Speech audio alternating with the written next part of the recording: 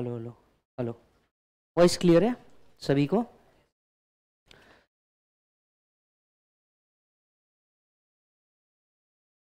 Okay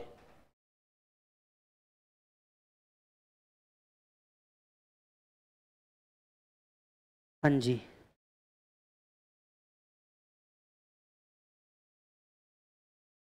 बैठ गए जी सब? बहुत ही बढ़िया। आ जाओ।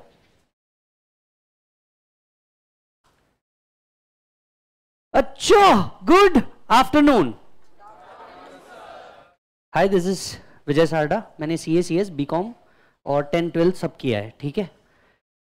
चलिए, सबसे अच्छी बात, आप और मैं जो दोनों शेयर करते हैं वो ये है कि आपको और मेरे को दोनों को एक ही आदमी से दगा मिला है। समझ गए ना आप किससे? हाँ तो चलिए, जब धोखा सबको एक साथ मिला है तो थोड़ा एक साथ दिया जा सकता है, बराबर है कि नहीं है?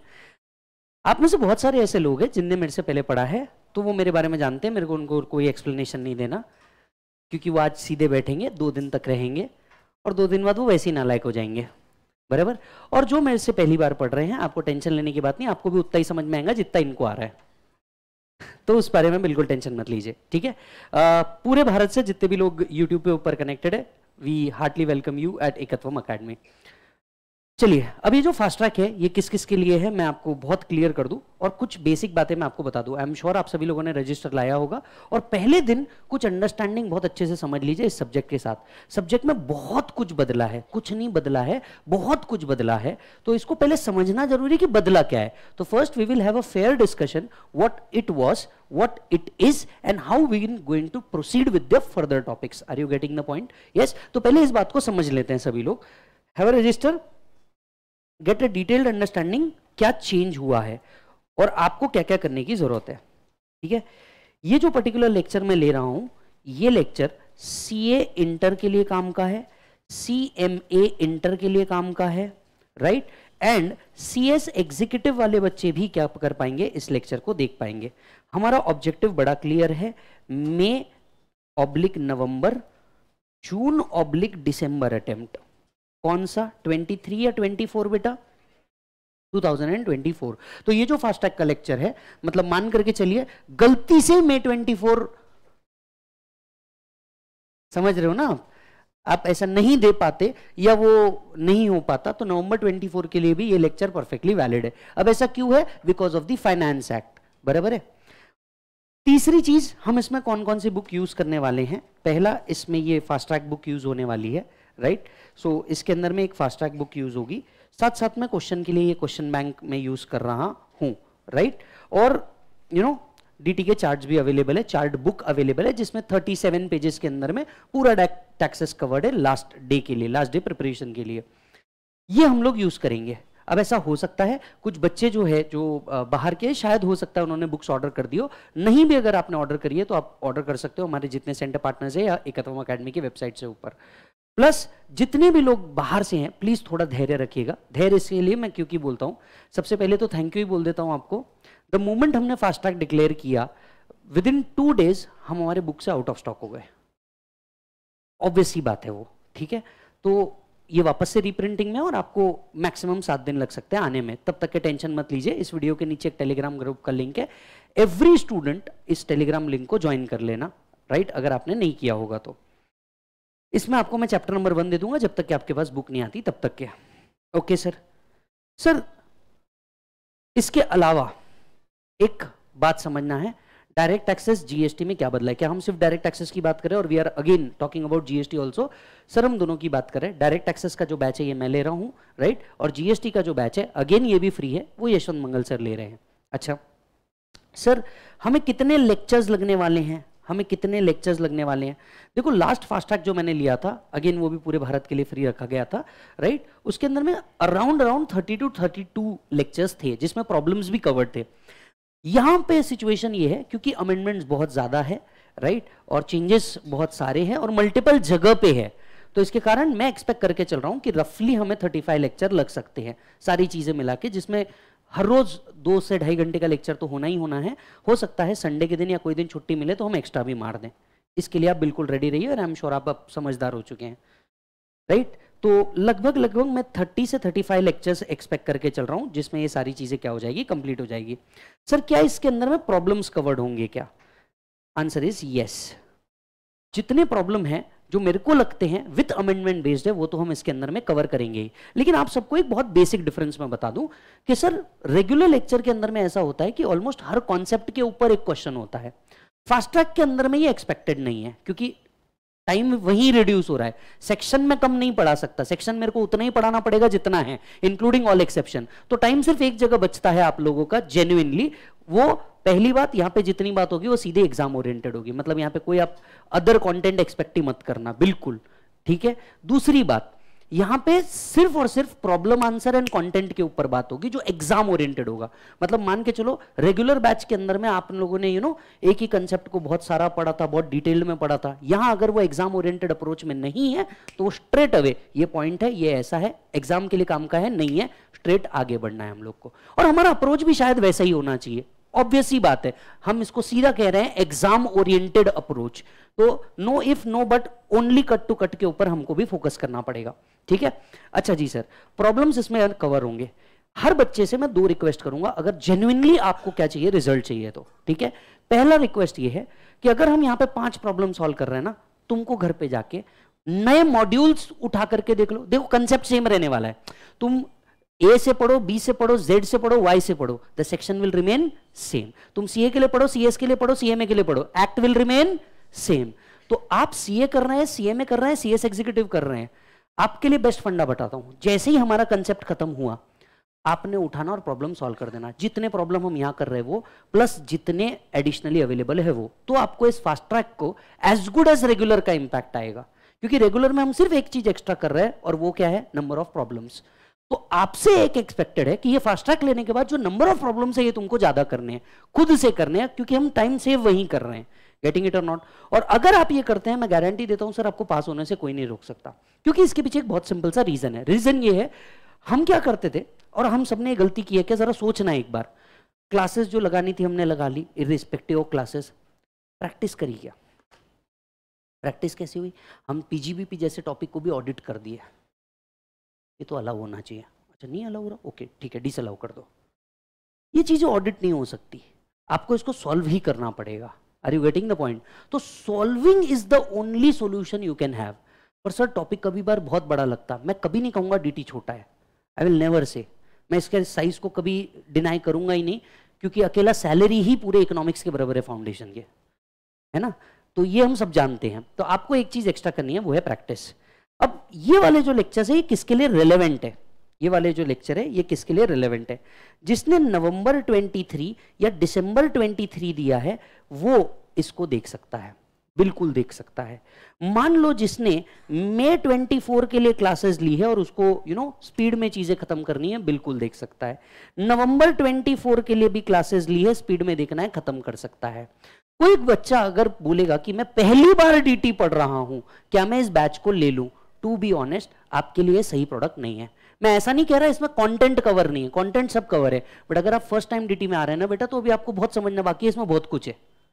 समझ में आ रहा है? जब तक कि आपको समझ में आएगा ना परक्विजिट कितने हैं, तब तक कि आपको टैक्स से नफरत हो जाएगी। और मैं आपको गारंटी देता हूँ, पहला चैप्टर आपकी मोहब्बत होगी, और इस चैप्टर को छोड़ के बाकी पूरी डिटी आप मेरे को और इंस्टीट्यूट दोनों को गाली दोगे। समझ में आ रहा है? ये फैक्ट है। तीसरा डिसिप्लिन देखिए, हम ये फास्ट ट्रैक ना स्ट्रेट अवे अपलोड करने वाले थे, वो वैसे भी देने वाले थे। पर हमको बहुत रिक्वेस्ट आया कि, सर फेस टू फेस लो एटलीस्ट एक डिसिप्लिन बनता है कि इस टाइम पे बैठना। और दोपहर का टाइम तो आपको पता ही है खाने के बाद क्या होता है। तो मेरे को जानबूझ के रखा गया कि ये आदमी जगा सकता है। ठीक है, डर दिखा दिखा के। तो ये वही पॉइंट है। एक पॉइंट आंधी आए, तूफ़ान या अंबर फट जाए। अगर क्लास है तो तुम्हारे को बैठना है, काम खत्म। इस डिसिप्लिन के साथ ही बैठना, वरना मत बैठो, हम वैसे भी रिकॉर्ड करके डाल ही रहे हैं। बट ऑनेस्टली एक चीज़ जो जेनुइनली आपको फॉलो करनी है, एक घर पे नंबर ऑफ़ प्रॉब्लम प्रैक्टिस करनी है और दूसरा, तुम बीमार भी हो 104 का बुखार है तो भी चुपचाप उठ के आने का बिकॉज़ इसको कोई एक्सेप्शन नहीं होता, ठीक? नया बच्चा प्लीज़ इस चीज़ से दूर रहो मतलब जो पहली बार पढ़ने वाला है, मत फॉलो करो। कंटेंट आपको पूरा समझ में आएगा, लेकिन आपको जो प्रैक्टिस की ज़रूरत है और डिसिप्लिन की ज़रूरत है ना, वो रेगुलर में आ सकता है, यहाँ नहीं आ सकता। ठीक है sir now let us go to another concept क्या बदला है? अर्लियर नाउ क्या बदला है? Earlier sir dt was for 60 mark and gst was for 40 marks. Now dt is for 50 marks and gst is for 50 marks सभी बच्चे जो convert हो रहे हैं mandatorily not mandatorily doesn't matter अब ये 50 50 मार्क्स पे हो चुका है। अब क्योंकि मार्क्स में चेंज किया it was expected out of institute की टॉपिक्स में भी चेंज करे। नंबर ऑफ़ टॉपिक्स यहाँ पे सेम है। यहाँ पे तीन एडिशन में है। मतलब जीएसटी के अंदर में आपको तीन टॉपिक ऐड कर दिया गया है। डीटी में जो जैसा था वैसे ही रख दिया है। हमारे सब्जेक्ट में सिर्फ़ आता है, जाता नहीं। समझ में आ रही बात? हमारे यहाँ सिर्फ़ इनकमिंग या आउटगोइंग की फैसिलिटी नहीं रखी गई है। तो पूरे टॉपिक जितने आप पढ़ते थे, उतने एज इट इज़ सेम है। ये हुआ पहला चेंज सर, दूसरा चेंज जो आपको बहुत ज़्यादा दर्द देगा, ये है फाइनेंस एक्ट 2022 और यहाँ पे आपका फाइनेंस एक्ट 2023 आ गया। फाइनेंस एक्ट बदल गया। देखिए, जब भी कोई फाइनेंस एक्ट होता है, ये दो अटेम्प्ट के लिए लागू होता है। And that's why when we say finance act 2023 it is applicable for may 24 as well as november 24 are you getting the point?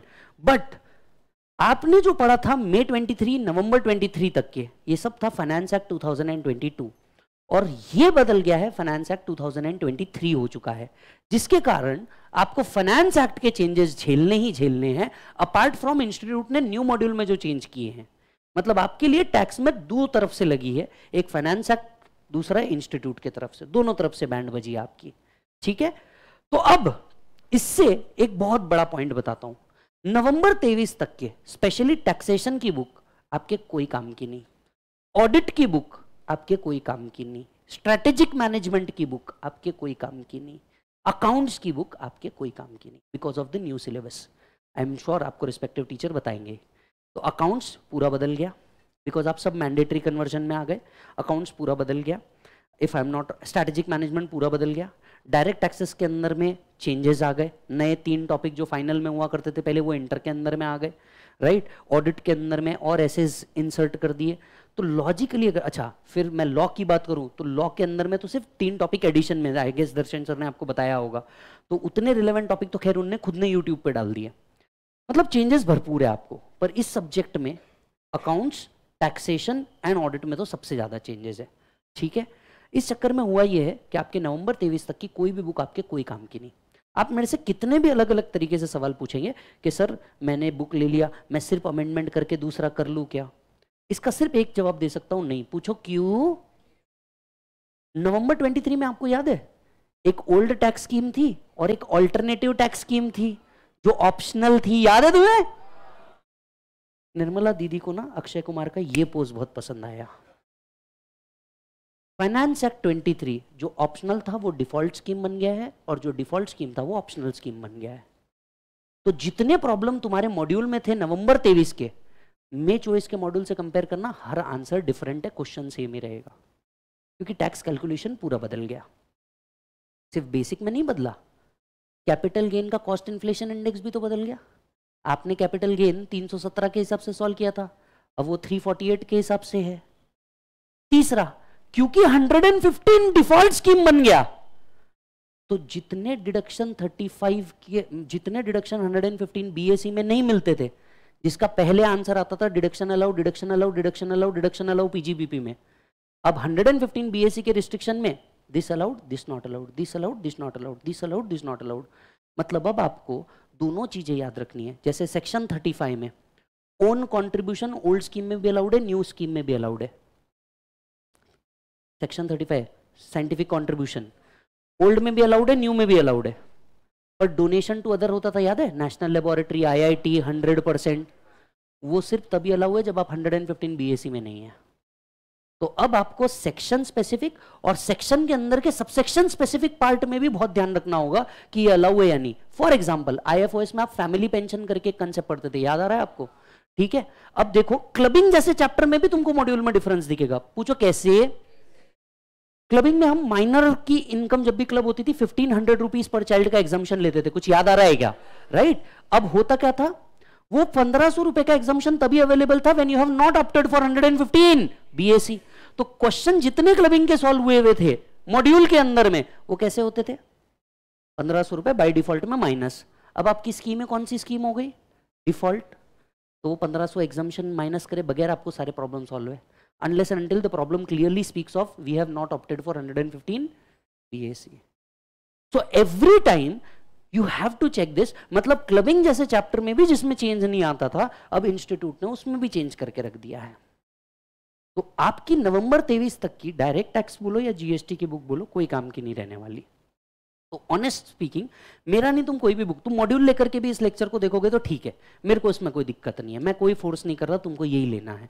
But हाँ मोस्ट सेंसिबली आप अपना डिसीज़न ले सकते हो। तीसरा बड़ा चेंज जो मैंने अभी आपसे कहा या 115 बीएससी वाले जो सेक्शंस थे, ये कौन से सेक्शन बन गए?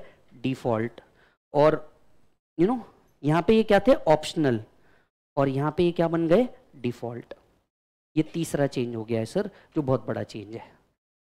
बराबर है? ये तीसरा चेंज हो गया, जो बहुत बड़ा चेंज है। अब चौथे चेंज को मैं एक्सप्लेन करने जा रहा हूँ, समझना, और तुम समझ भी पाओगे। याद है, जब आप ओल्ड स्कीम के अंदर में थे, आपको एक टॉपिक हुआ करता था A M T alternate minimum tax हुआ करता था।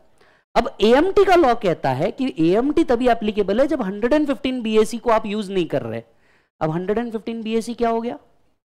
डिफ़ॉल्ट स्कीम तो एएमटी का जो स्कोप था, वो बढ़ गया या कम हो गया? कम हो गया, पर टॉपिक है। टॉपिक रखा गया है, पर उसका जो स्कोप था, जिस हिसाब से आप उसको सॉल्व करते थे, वो क्या हो गया? कम हो गया है। तो ये एक अनादर थिंग यू नो रहेगा। तो एक्सपेक्टेड आपसे यही है कि आपको डेली बेसिस के अंदर में इसको सॉल्व करना है। फाइनेंस एक्ट के चेंजेस कितने हैं? आपके मन में ये सवाल उठना चाहिए कि, सर फाइनेंस एक्ट में कितने चेंजेस आए हैं? मैं आपको बताता हूँ ना, सर, कितने चेंजेस आए पहले रिबेट कितने पे मिलता था? If the total income does not exceed two lakh fifty thousand sir, फोड़ दूँगा मैं। कितना? Five lakhs basic exemption limit बोल रहा ना लैख फाइव लैख से ऊपर अगर नहीं जाए तो वी यूज़ टू गेट क्या? रिबेट अब दो अलग अलग कंसेप्ट है। अगर आप ओल्ड स्कीम में है तो फाइव लैख अगर आप न्यू स्कीम में है तो सेवन लैख मार्जिनल रिलीफ सिर्फ़ टैक्स कैलकुलेशन में था, याद आ रहा है क्या? अब मार्जिनल रिलीफ रिबेट के साथ है। मतलब रिबेट के साथ साथ मार्जिनल रिलीफ ध्यान में रखना है। अकेले बेसिक टैक्स कैलकुलेशन चैप्टर में छह चेंजेस है। और उन हर चेंज पे आपको मल्टीपल क्वेश्चन बनते हैं। इसी के साथ साथ, पहले भी आपको एमसीक्यू थे थर्टी मार्क्स के। यहाँ पे भी थर्टी मार्क्स के एमसीक्यू है। ये एक चीज़ इनने कॉमन ही रखी है। एक चीज़ इन्होंने क्या रखी है? कॉमन ही रखी है। ये एज इट इज़ रखी है। पर बाकी सब ये लोग क्या कर रहे हैं? कॉन्स्टेंटली बदले जा रहे हैं। Hence every one of you will require this particular thing right अच्छा जी सर सर तो आपका कहना क्या है? मान लीजिए अगर मैं नवंबर ट्वेंटी थ्री वाला हूँ तो इतने डर देख करके तो मेरे को लग रहा है मैंने रेगुलरली ले लेना चाहिए। नहीं, अगर आप इसके पहले पढ़ चुके हैं, जो ऑनेस्ट है वो ऑनेस्ट है। देखो, मैंने खुद ने ये कोर्स को जान मुझ करके पूरे इंडिया के लिए फ्री सिर्फ़ एक ऑब्जेक्टिव से रखा। मैं उस परिवार से आता हूँ जिसने सेम सिचुएशन देखी थी। हमारे टाइम पे भी ये चेंज हुआ था। एंड आई थिंक आप लोगों ने ऑलरेडी इतना प्यार दिया है, जहाँ मेरे को कमाना है, मैं कमा लूँगा, मेरे को हर जगह नहीं कमाना। दोज नो में ऑलरेडी नो कि ये मैं क्यों करता हूँ और क्या क्या के लिए करता हूँ तो वो छोड़ दो, ठीक है?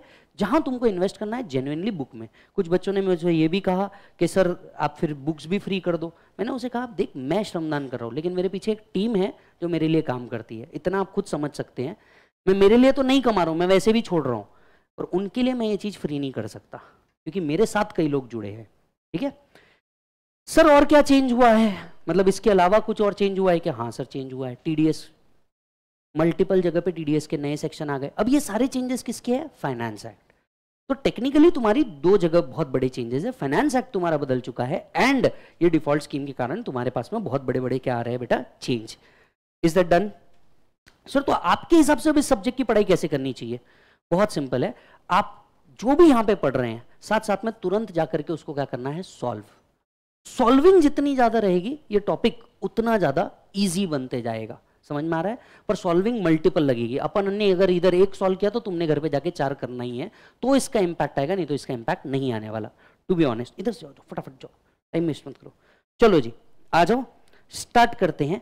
सर कितने टॉपिक है? नंबर ऑफ़ टॉपिक्स कितने हैं? नंबर ऑफ़ टॉपिक्स बिल्कुल उतने ही रखे गए हैं, सत्रह including computation of total income बराबर है? क्या सारे फास्ट ट्रैक में कवर कर रहे हैं? सारे के सारे कवर कर रहे हैं सर ठीक है? चलो let us focus basic of income tax and tax calculation basic of income tax and tax calculation बिल्कुल एक छोटे से मोटिवेशन के साथ चालू करेंगे। एक शायरी के साथ चालू करता हूँ, पर बहुत डीप है समझना। और क्योंकि हम सब कभी ना कभी फेल हुए हैं, उस ऑब्जेक्टिव से समझाता हूँ। इर्शाद बोलते हैं, जब शायरी कोई बोलता है, थोड़ा सा मतलब इतने भी इतने भी मतलब ऐसे ना चेहरे लेके मत आओ कि तुमको बहुत ज़्यादा गम हो गया है। ठीक है? हम सब यहाँ पे बैठे हैं एंड फेल होना बहुत अच्छी बात है, उसका फुल फॉर्म है फ़र्स्ट अटेम्प्ट इन लर्निंग ठीक है? तो फेल होना कोई बुरी बात नहीं है, तुम कोई बिगड़े नहीं हो। तुम्हारी ज़िंदगी में कोई दाग लग गया ऐसा कुछ नहीं है। तुम्हारे सामने जो खड़ा है, वो भी फेल ही है। ठीक है? बस उसको देखने का नज़रिया अलग है। अब ध्यान से सुनना। बेदाग हो ज़िंदगी, इस चाह में ही दाग है।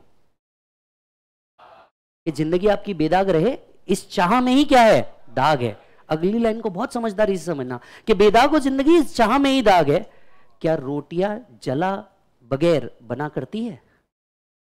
बेदाग हो ज़िंदगी, इस चाह में ही दाग है। क्या रोटियाँ कभी जले बगैर बना करती है?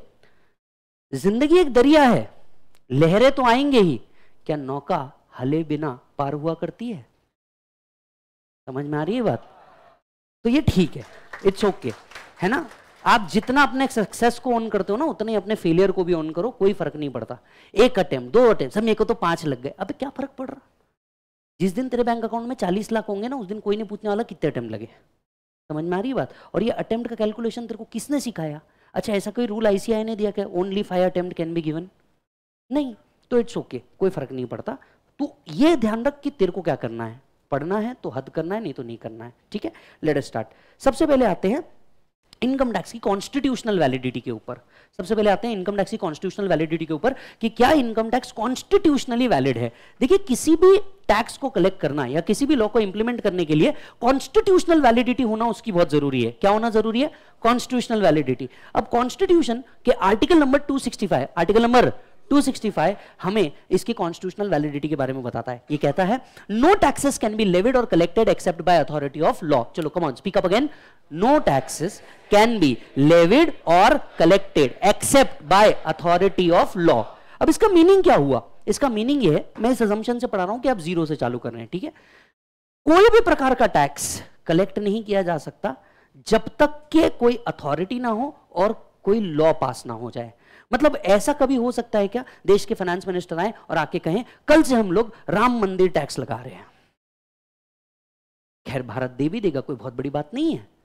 पर ऐसा कुछ लग सकता है क्या? द आंसर इज़ नो उसके पहले क्या बनना ज़रूरी है? लॉ उसके पहले क्या बनना ज़रूरी है? लॉ तो unless and until there is a law you cannot levy or either collect the tax in any form तो आपको क्या बनना ज़रूरी है सबसे पहले? लॉ बनना ज़रूरी है।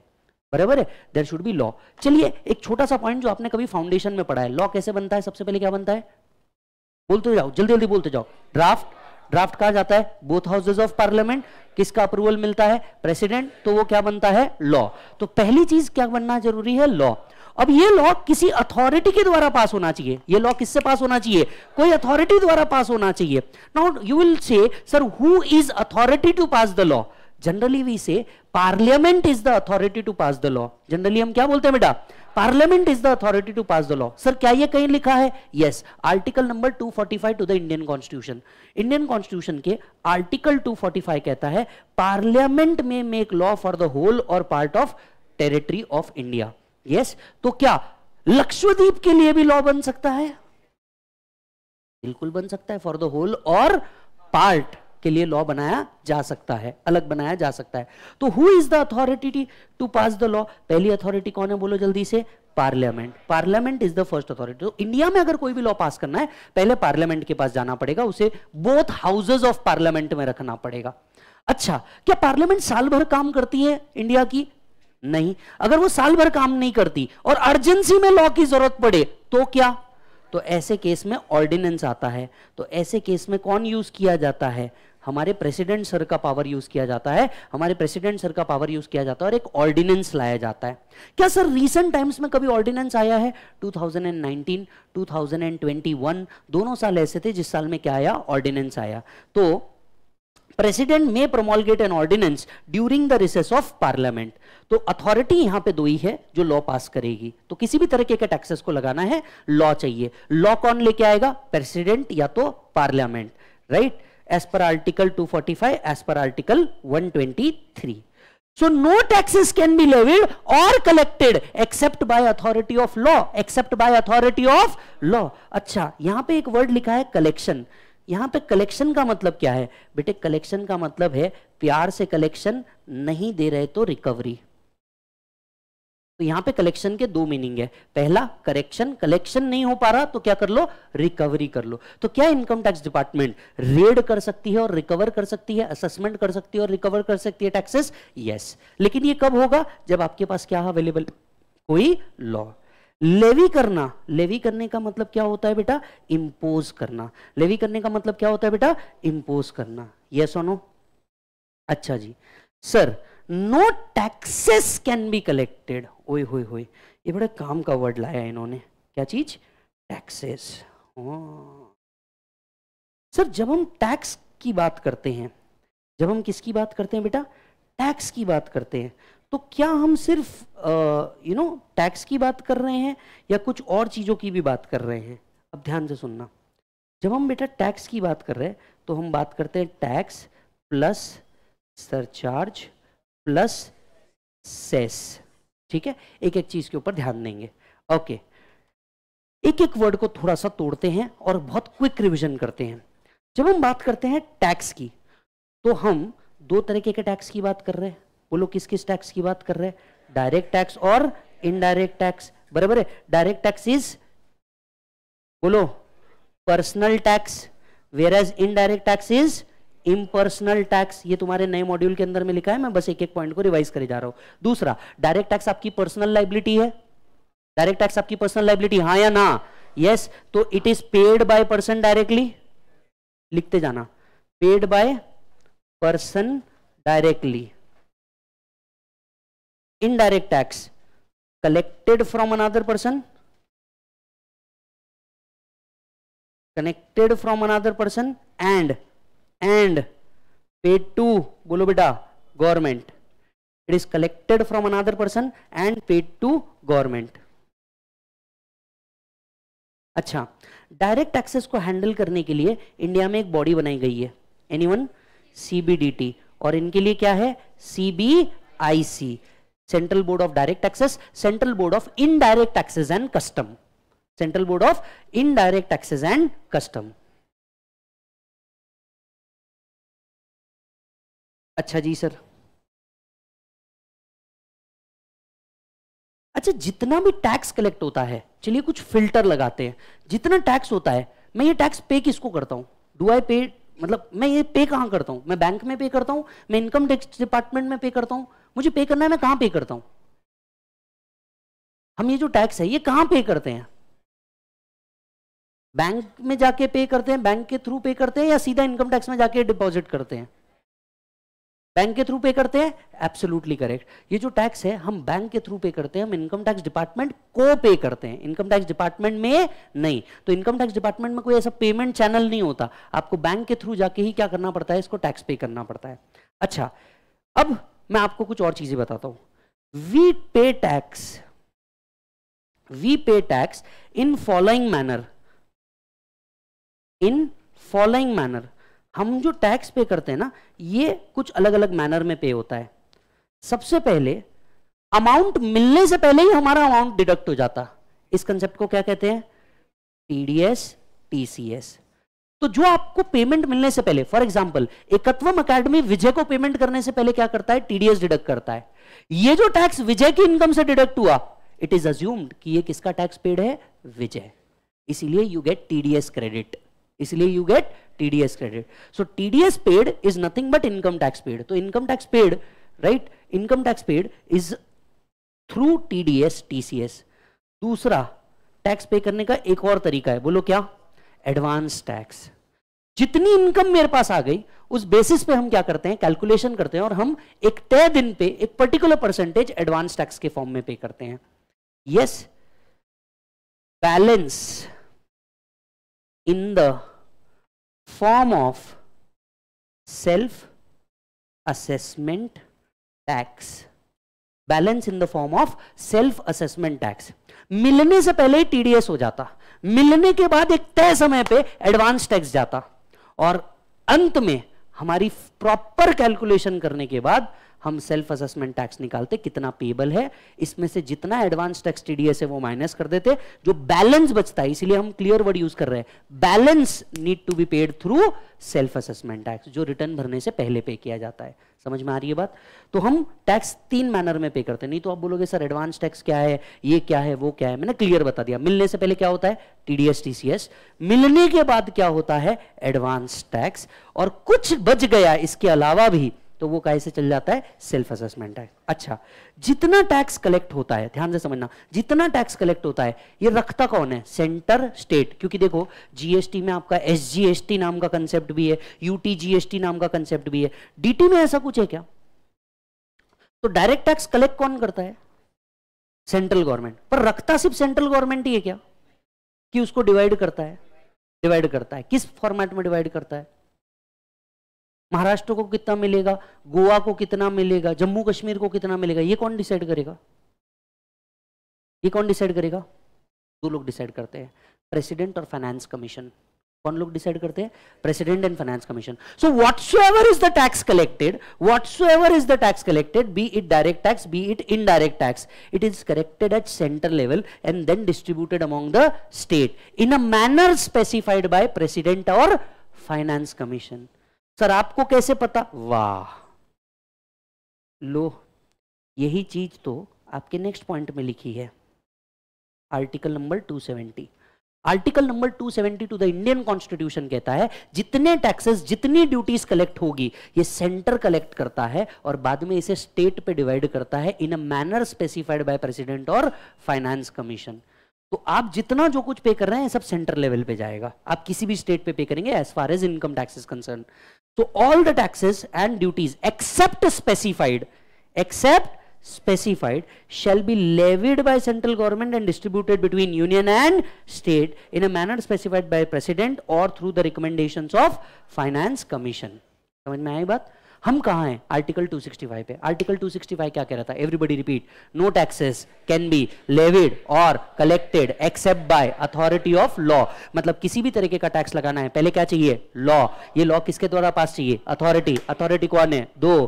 पार्लियामेंट एंड प्रेसिडेंट क्लियर है? पार्लियामेंट और प्रेसिडेंट ठीक है? अच्छा अब टैक्स की बात आई तो हम लोग टैक्स वर्ड को खोदने निकल गए।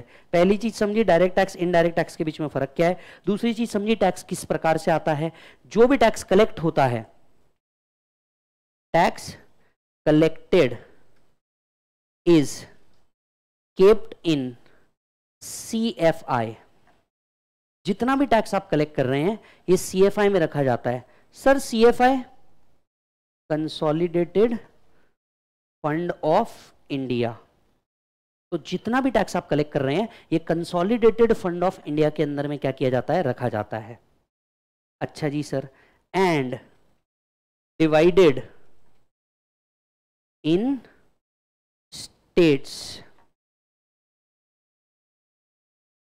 article number 270 इसे क्या किया जाता है? अलग अलग स्टेट्स के अंदर में डिसाइड किया जाता है। Yes yes?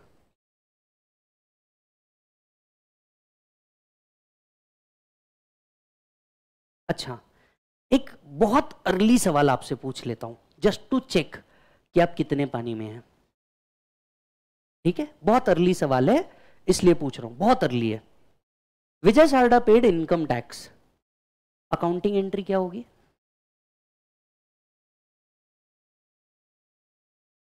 Please accounting entry pass करो ना। Vijay Sarda paid five lakh as income tax please journal entry pass कर दो। Income tax account debit to cash bank perfect यानी ये जो एक्सपेंसेस है, ये मैंने पीएनएल को डेबिट किए होंगे। Do you mean this yes PNL को डेबिट किया? विजय पीजीबीपी कंप्यूट करेगा? Is income tax paid allowed as deduction why income tax paid is allowed as deduction yes or no? Why? Personal tax. Section 37 से personal expenditure is not allowed as deduction क्या दिन आए हैं? Income tax में income tax कोई deduction नहीं है। बात समझ रहे हो? सो so, जस्ट एक बहुत दूर का पॉइंट ये चेक करने के लिए कि आपको कितना नॉलेज था इस चीज़ में। आपको फेयर नॉलेज है बहुत अच्छी बात है। बढ़ो आगे।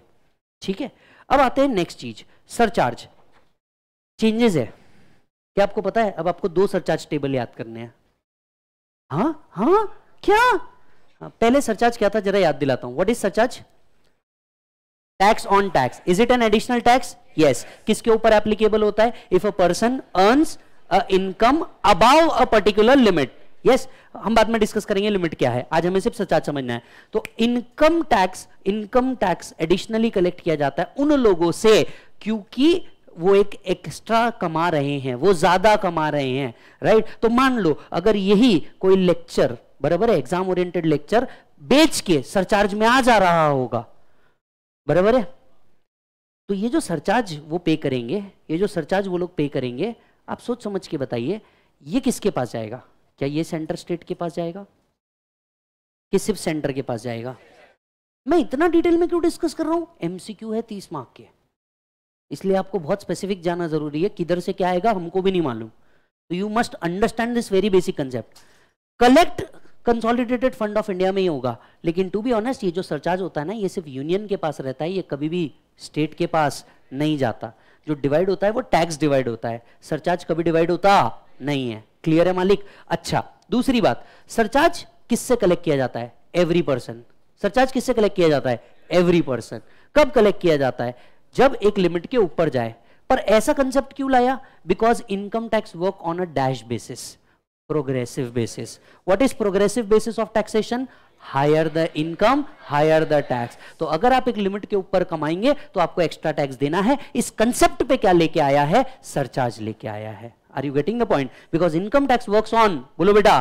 Progressive basis next point next MCQ ये लाइन बड़ी होकर एमसीक्यू बनेगी। Income tax works on progressive basis that is higher the income higher the tax higher the income higher the tax बराबर प्रोग्रेसिव बेसिस जबकि आईडीटी को अगर आप देखोगे ना तो वो प्रोग्रेसिव बेसिस पे वर्क नहीं करता, क्योंकि वो प्रोडक्ट के प्राइस वाइज डिफर हो जाएगा। तो वो प्रोग्रेसिव बेसिस पे वर्क नहीं करेगा, ठीक है? चलिए सरचार्ज सरचार्ज क्या होता है मालिक आपका? सरचार्ज होता है आपका additional tax surcharge is kept by बोलो बेटा union surcharge is kept by union अब मैं आपसे कह रहा था सरचार्ज आपको दो रेट याद रखने हैं। यस पहले ऐसा नहीं था, इस साल से ऐसा है। आपको ओल्ड स्कीम का सरचार्ज रेट अलग है न्यू स्कीम का सरचार्ज रेट अलग है। बराबर है? और ये दोनों आपको अलग अलग ही सॉल्व करने हैं। ध्यान में रखते हुए कि पूछा क्या है। तो ये भी एक चेंजेस है। अच्छा सर सर मुझे एक बात, डरने की बात नहीं है, मैं आज सिर्फ़ आपको एक्सप्लेन कर रहा हूँ कि क्या क्या है। बराबर है? तो उसमें डरना मत, कुछ भी मत डरना। अच्छा जी तो surcharge is applicable on all person तो सरचार्ज जो है, ये सभी के ऊपर क्या है बेटा? एप्लीकेबल है। अच्छा। यही चीज़ हमें यहाँ देखने को मिलती है। इधर आइए।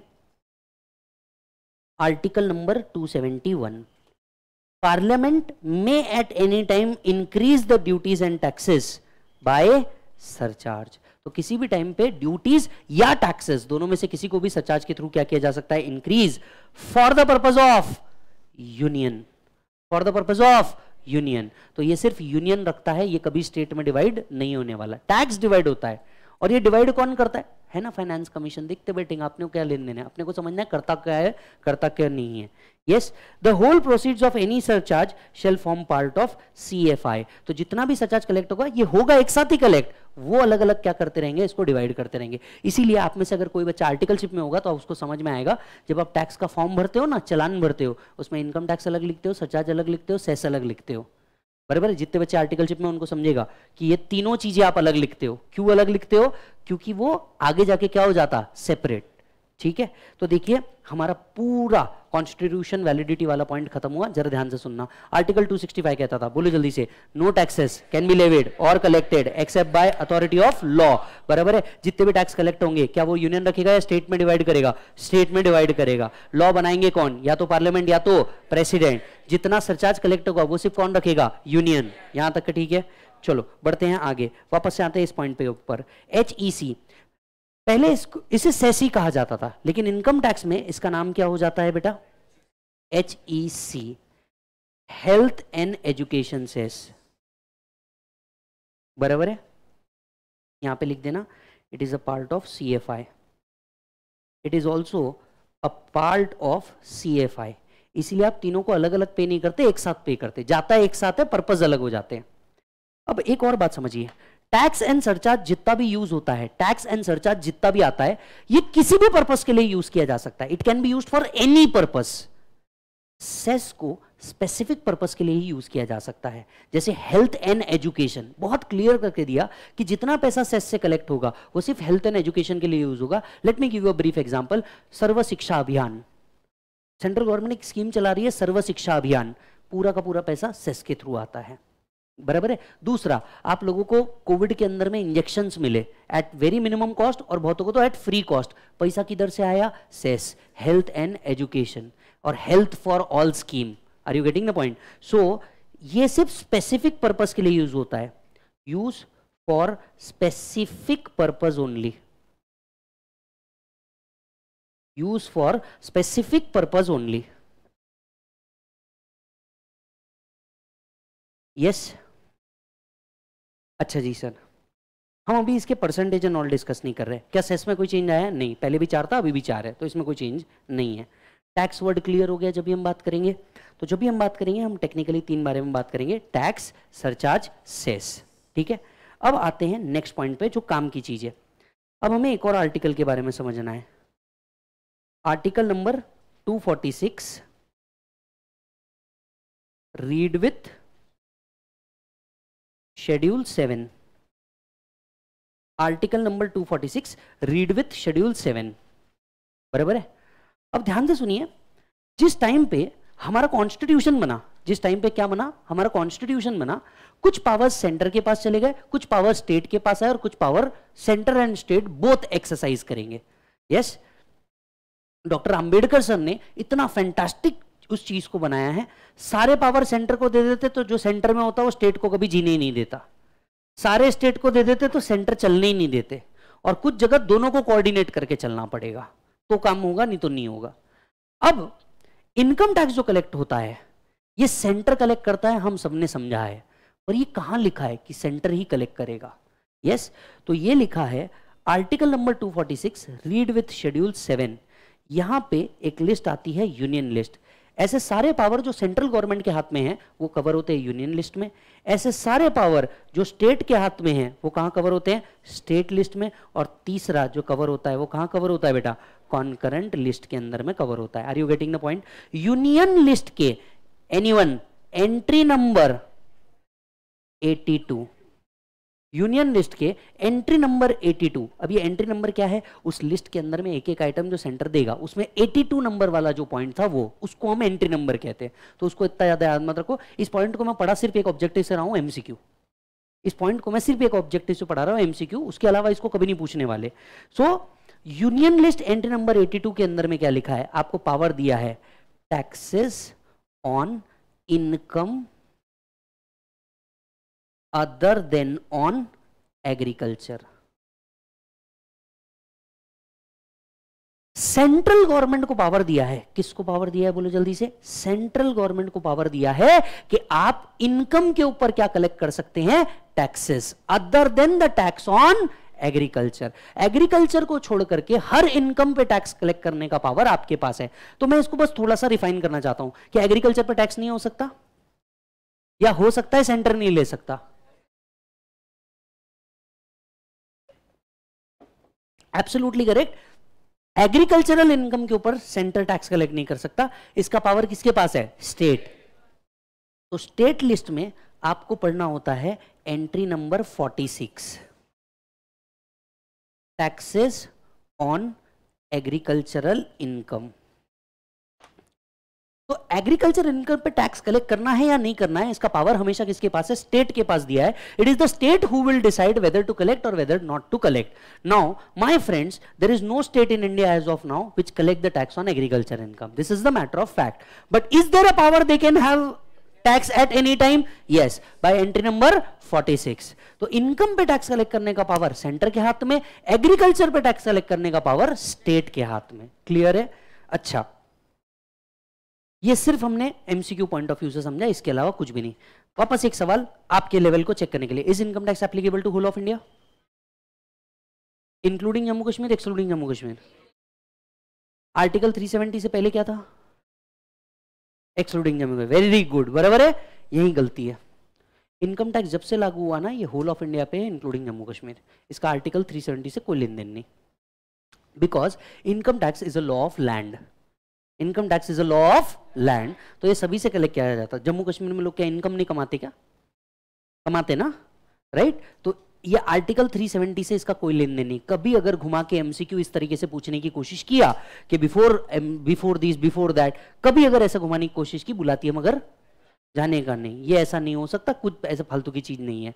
Right the income tax is applicable to whole of India yes income tax act applies to whole of India. The income tax act applies to whole of India including JNK.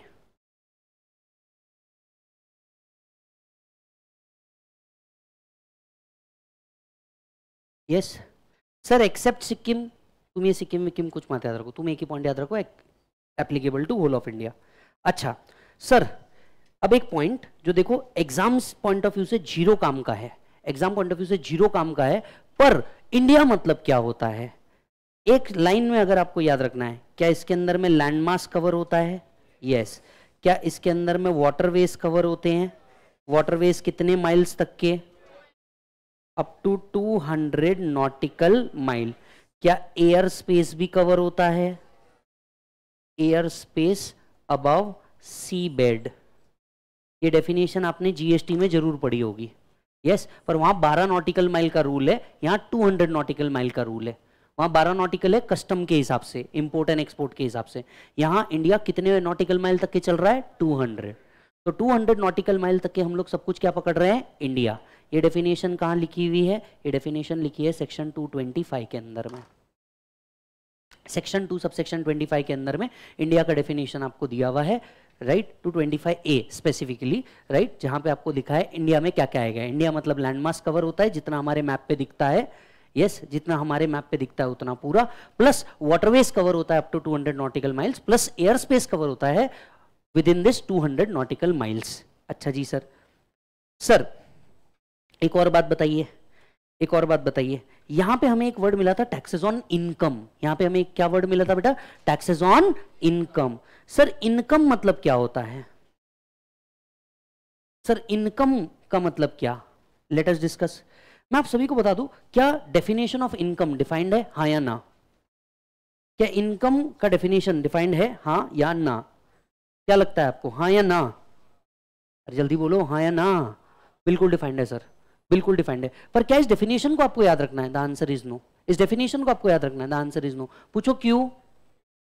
बहुत बड़ी डेफिनेशन है। ये कभी याद नहीं हो सकती, ना कभी एग्ज़ाम में पूछी जाती है। तो चैप्टर नंबर वन में चैप्टर नंबर वन के अंदर में आपको क्या पूछा गया है? इन, आपको इनकम की डेफिनेशन दे रखी है। बिल्कुल याद मत रखना फुटाइल एक्टिविटी है टोटली यस तो सिर्फ़ एक वर्ड में समझ लेना income is defined income is defined ये हुआ पहला पॉइंट दूसरा पॉइंट दूसरा point right there is a concept of gross total income yes or no? And there is also a concept of total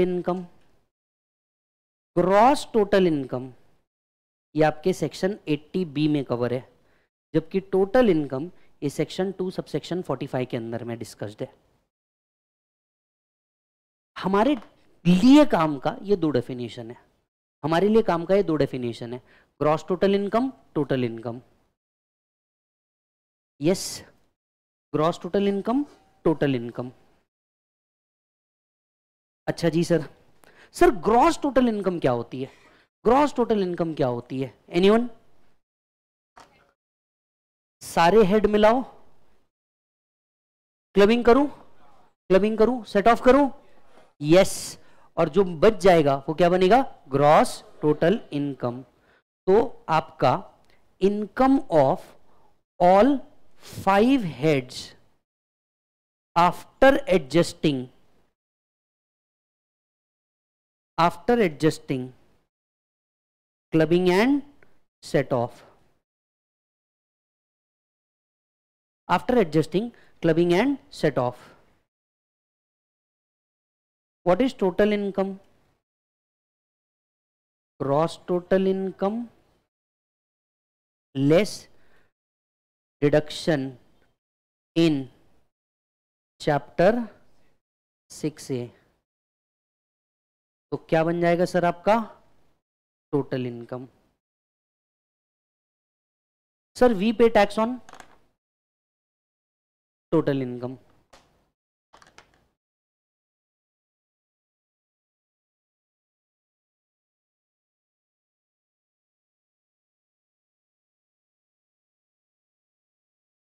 पर अब एक बात याद रखनी होगी। If you opt for 115 if you go for 115 BAC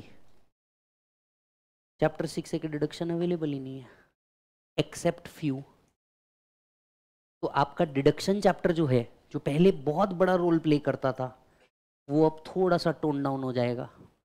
क्योंकि अगर 115 बीएससी है तो मैक्सिमम डिडक्शन काम की नहीं। 80 सी 80 डी जो पहले इंपॉर्टेंट सेक्शन की कैटेगरी में आते थे क्योंकि 115 बीएससी अगर डिफ़ॉल्ट पकड़ा तो उसके डिडक्शन मिलते ही नहीं।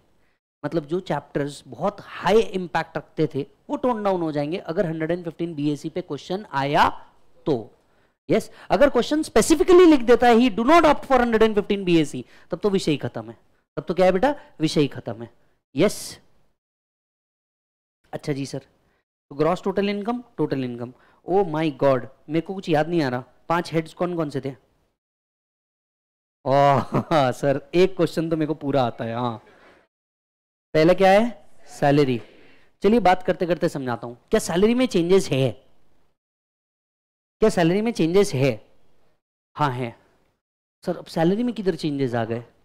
तो सैलरी में चेंजेस आए, पहले तो आपको याद है आरएफए था? आरएफए में फर्निश्ड अनफर्निश्ड जैसी चीज़ें हुआ करती थी, वहाँ पे अनफर्निश्ड वाले में आया है। अच्छा ये तो एक हुआ। और दूसरा आया है स्टैंडर्ड डिडक्शन में। पहले ये होता था, नवंबर 23 तक के ये होता था standard deduction is available only if you do not opt for 115 BAC याद आ रहा है? मतलब if you opt for 115 BAC standard deduction मिलने वाला finance act 23 standard deduction is available you opt और you do not opt you opt और you do not opt so this is the second amendment which is there in salary तीसरा leave encashment का आपको benefit मिलता था, याद है? Actual five lakh leave credit याद आ रहा है क्या? Five lakh became twenty five lakh five lakh का limit became twenty five lakh so are there amendment in salary yes हाँ दूसरा हेड क्या था बेटा? एचपी विल देयर बी मतलब इसमें तो नहीं होगा। नहीं ऐसे कैसे इतना खर्चा हो गया है तो एक दो अमेंडमेंट इधर भी डाल ही देते हैं। है ना? अब यहाँ पे 115 बीएससी से है, याद दिलाता हूँ। अगर आप 115 बीएससी ऑप्ट करते थे तो आपको जो आईओबीसी का डिडक्शन मिलता था टू लाख या thirty thousand in case of self occupied property वो नहीं मिलता था। याद है क्या? अब यहाँ पे एसओपी को सॉल्व करते वक्त याद रखना पड़ेगा, क्योंकि 115 बीएससी डिफ़ॉल्ट है। तो वो एसओपी का क्वेश्चन देके आपको आईओबीसी देंगे और आप पुराने तरीके से सोच के उसको डिडक्शन लेना चाहेंगे। नहीं ले पाना है। लेना ही नहीं है। तो इस बात को ध्यान में रखना होगा। Are you getting the point otherwise कोई चेंजेस नहीं है। तीसरा, वाह भाई। खैर छोड़ो, आगे बढ़ते हैं। है ना? ये तो ऐसी ऑप्शनल में था लास्ट डे भी। लास्ट डे भी ऑप्शनल में ही चल रहा था। क्या बदल जाना है इसमें? बराबर है पबजी, सर मतलब तुमको तो वैसे भी पढ़ना ही है। कैपिटल गेन सर 115 बीएससी से इसके अंदर में कोई चेंजेस नहीं है। लेकिन यहाँ पे भी ना, एक, दो, तीन, चार, पाँच पाँच जगह चेंजेस है। कहाँ कहाँ मैं आपको क्लियर बताता हूँ। सबसे पहले कॉस्ट इन्फ्लेशन इंडेक्स चेंज हो गया। जो थ्री वन सेवन था, वो थ्री फोर एट हो गया। तो कैपिटल गेन के वैसे ही पूरे प्रॉब्लम बदल गए। पहला सर क्या आप हमें डरा रहे हो? हाँ नहीं, फाड़ रहा हूँ। दूसरा, आपको याद है 54 और 54 एफ़ नाम के दो सेक्शन होते थे? 54 सेक्शन क्या करता था? मैक्सिमम एक घर का डिडक्शन ले सकते थे। इफ़ कैपिटल गेन दो करोड़ के ऊपर नहीं जा रहा दो घर का डिडक्शन ले सकते थे। यस yes, और मान लीजिए आप पहली पहली बार ये सारे शब्द सुन रहे हैं तो भी मत डरना। क्योंकि ऐसा हो सकता है आप इधर आए और पूरे ब्लैंक माइंड के साथ आए हो। तो सुनना सिर्फ़ और भूल जाना आज। ये सब तुमको एट दी एंड में सब रिकॉल वापस करवा दूँगा। 54 में अब मैक्सिमम लिमिट आ गई है 10 करोड़। मतलब पहले क्या होता था, ऐसी कोई मॉनिटरी लिमिट नहीं थी। Amount invested capital gain whichever is lower अब इसमें मैक्सिमम लिमिट आ गई 10 करोड़ की। सेम 10 करोड़ की लिमिट 54 एफ़ में भी आ गई। तो यहाँ पे आ गया तीसरा अमेंडमेंट समझ में आया? सेक्शन 47 की लिस्ट में ऐड हुआ है। सेक्शन 47 बताता था transaction which are not regarded as transfer और एक अच्छी चीज़ हुई है, पहले आपको क्या था? 43 two sorry 43 three two A ऐसे कुछ छोटे छोटे सेक्शन थे कैपिटल गेन से। इसको नए मॉड्यूल के अंदर में काट दिया। तो ले दे के तीन सेक्शन तुम्हारे इधर से हटाए हैं, पर कुछ तो अच्छा हुआ है। ठीक?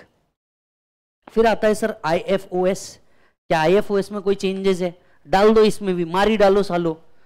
हाँ है। सर क्या चेंज है? मैंने जैसा कि कहा, पहले दिन मैं सिर्फ़ आपको बता रहा हूँ क्या क्या बदल रहा है, ताकि आप अपने फेयर डिसीज़न ले पाओ। सर मतलब मतलब कहना क्या चाहते हो आप? मैं बहुत अच्छी सी चीज़ कहना चाहता हूँ आप अपने फेयर डिसीज़न लें। मतलब सर क्या आप हमें हाँ। सुनो ऑनलाइन बेटिंग ड्रीम इलेवन जंगली रबी पे आओ ना महाराज। उसके ऊपर टैक्सेशन आया है और यही टैक्सेशन का रेट चैप्टर नंबर वन में एक नया एंट्री आया है। समझ में आ रही बात?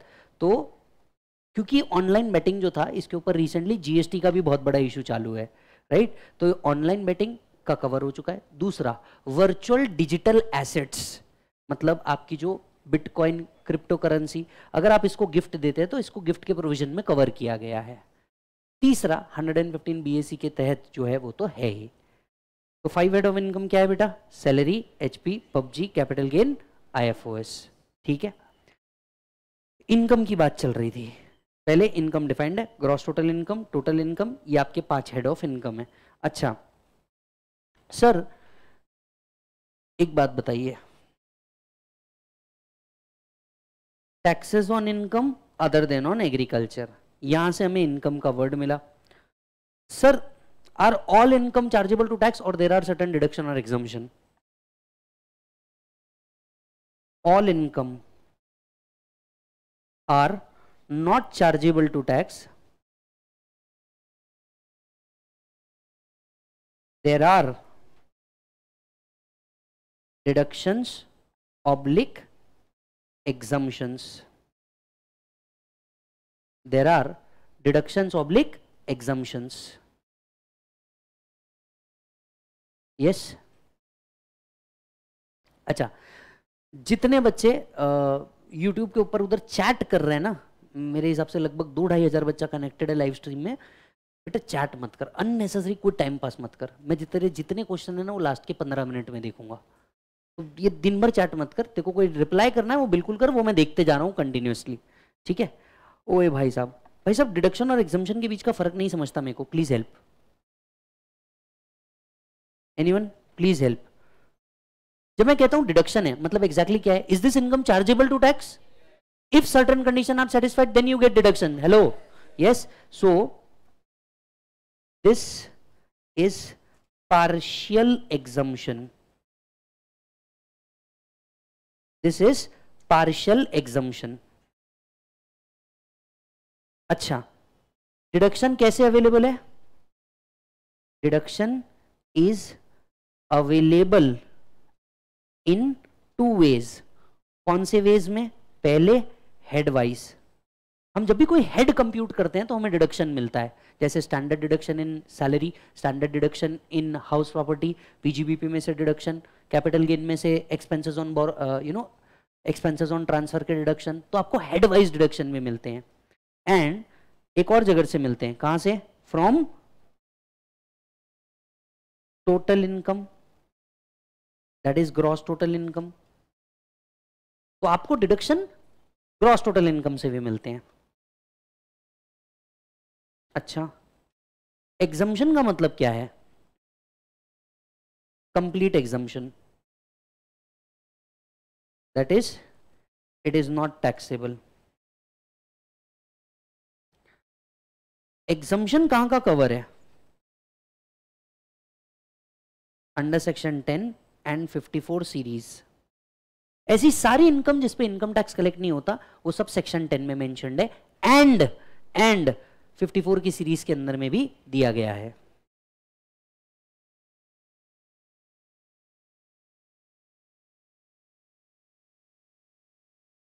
इज़ डन चलो।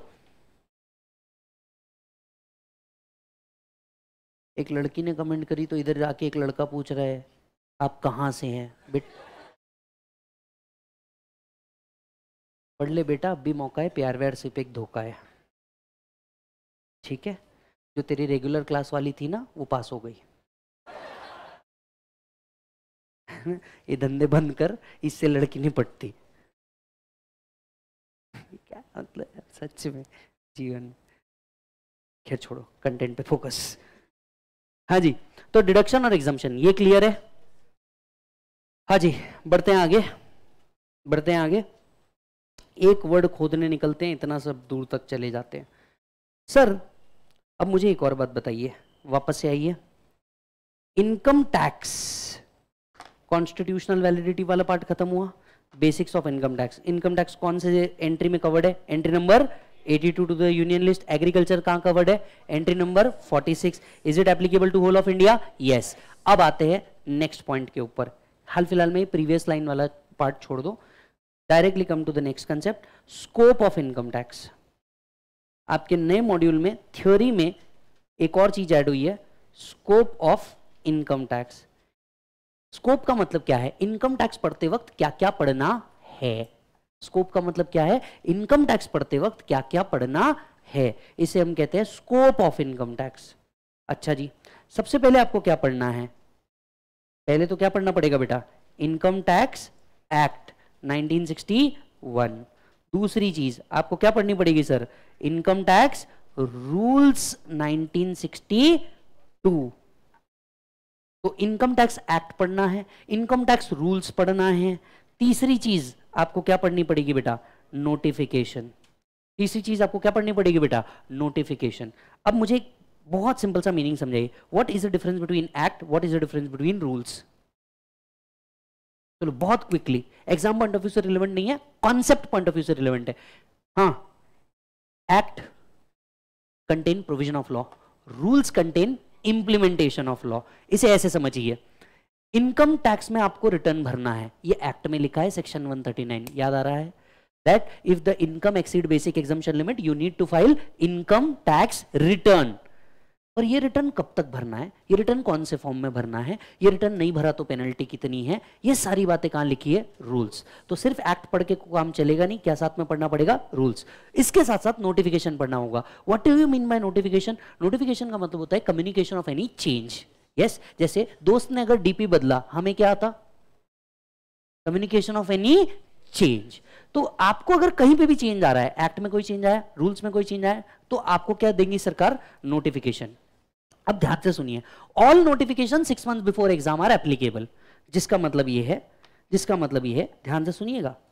अगर आप मई ऑब्लिक जून 2024 अटेम्प्ट दे रहे हैं, सारे नोटिफिकेशन टिल नवंबर 23 आपके ऊपर एप्लीकेबल है।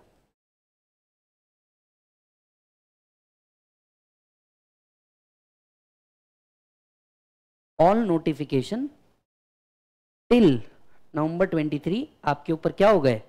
एप्लीकेबल हो गए। सिक्स मंथ बिफोर के जितने भी नोटिफिकेशन है, वो आपके सिलेबस का पार्ट है। खुद ये वो कह के देते हैं। और इसी के लिए इंस्टीट्यूट देखो, हर बार जुडिशियल अपडेट लेके आता है। तो जुडिशियल अपडेट में क्या होता है बेटा? जुडिशियल अपडेट के अंदर में ना, ये जो चेंज है, सिर्फ़ वो कवर होता है कि भैया, बाकी का तो मॉड्यूल है ही, आपको इसके साथ साथ ये पढ़ना है, ये नया चीज़ आया है। एंड दैट्स वाई आपको डीटी में या जीएसटी में नोटिफिकेशन भी पढ़ना है। If you are giving November oblique December 24 attempt no क्या आप बता सकते हैं? जितना जो कुछ टिल मे 2024 आया होगा, वो आपके लिए क्या होगा? एप्लीकेबल तो ये जो फास्ट ट्रैक नवंबर 24 वाला बच्चा अगर देख रहा होगा ना, आपको इस फास्ट ट्रैक के अलावा एक ही चीज़ और प्रिपेयर करनी है, कोई नोटिफिकेशन आया तो वो। Otherwise everything will remain same बराबर है? अच्छा नोटिफिकेशन कौन इशू करता है? एमसीक्यू पॉइंट ऑफ़ व्यू से। इशूड बाय सीबीडीटी ये सिर्फ़ एमसीक्यू पॉइंट ऑफ़ व्यू से लिखा रहा हूँ कि नोटिफिकेशन कौन इशू करता है सर सीबीडीटी इशू करता है। अच्छा जी sir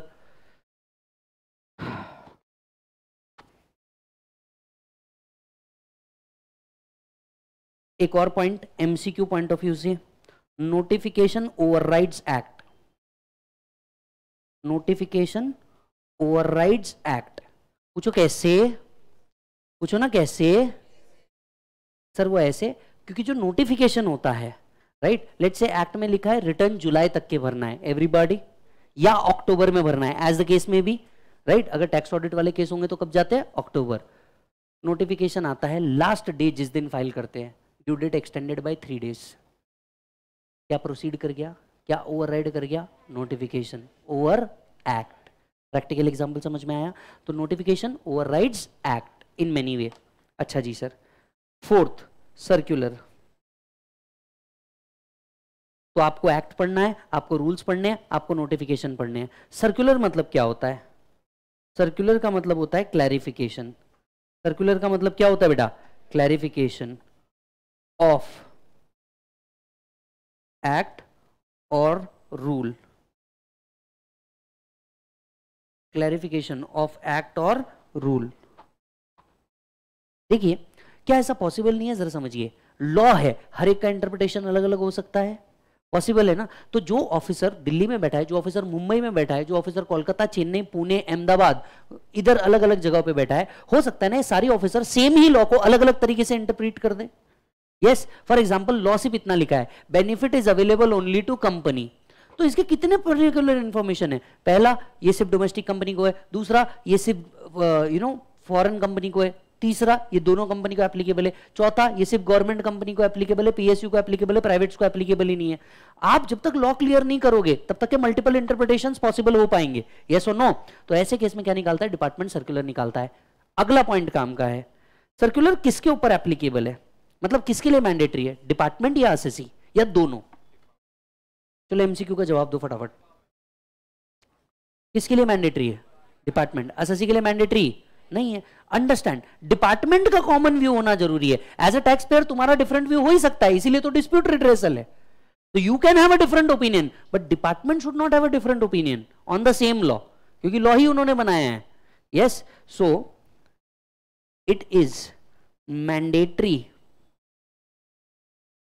for income tax department not mandatory for assessee assessee can use, if it is, बोलो बेटा बेनिफिशियल तो उसका बेनिफिशियल है तो वो यूज़ करेगा, नहीं तो नहीं करे, कोई तकलीफ़ नहीं है। ये बड़ियों के एमसीक्यू बन सकती है। नेक्स्ट सर्कुलर कौन इशू करता है भाई? Issued by CBDT issued by CBDT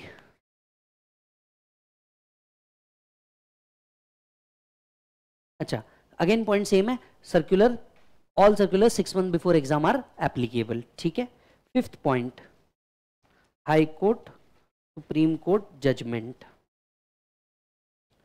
fifth point high court supreme court judgment बराबर है? तो चलो स्कोप ऑफ़ इनकम टैक्स ये थ्योरी क्वेश्चन है जो आपके मॉड्यूल में नया नया आया हुआ है, समझना। इनकम टैक्स का स्कोप में कितनी चीज़ आती है? पाँच। मतलब whenever you learn income tax you have to learn five things first act second rules third notification fourth circular fifth high court supreme court judgment इन सब का कॉम्बो करके जो तुम पढ़ोगे, उसी को हम कहेंगे इनकम टैक्स का स्कोप क्लियर है, मालिक? बढ़ते हैं आगे। इधर आइए। नेक्स्ट पॉइंट आपके नोट्स में वही दिख रहा है। जरा देखिएगा। Notification circular judicial updates right notification is communication of any change act circular is clarification by department and then there is a judicial update by supreme court high court and itat income tax appellate tribunal all notifications 6 months before exam are applicable this is issued by cbdt काम खत्म understand कीजिएगा आपको question सिर्फ़ notification पे नहीं आएगा सिर्फ़ circular पे नहीं आएगा वेन एवर दे लास्ट का question what is the scope of income tax theory question दो से चार मार्क के बीच में पूछेंगे तो सिर्फ़ नोटिफिकेशन सिर्फ़ सर्कुलर सिर्फ़ जुडिशियल पे क्वेश्चन नहीं आएगा वो सीधा आपको जो क्वेश्चन पूछेंगे वो गाय के ऊपर पूछेंगे स्कोप और उसी के अंदर में जो आपको लिखना है, वो लिखना है। गेटिंग इट और नॉट यस अब आता हूँ मैं नेक्स्ट बहुत बड़े पॉइंट के ऊपर बजट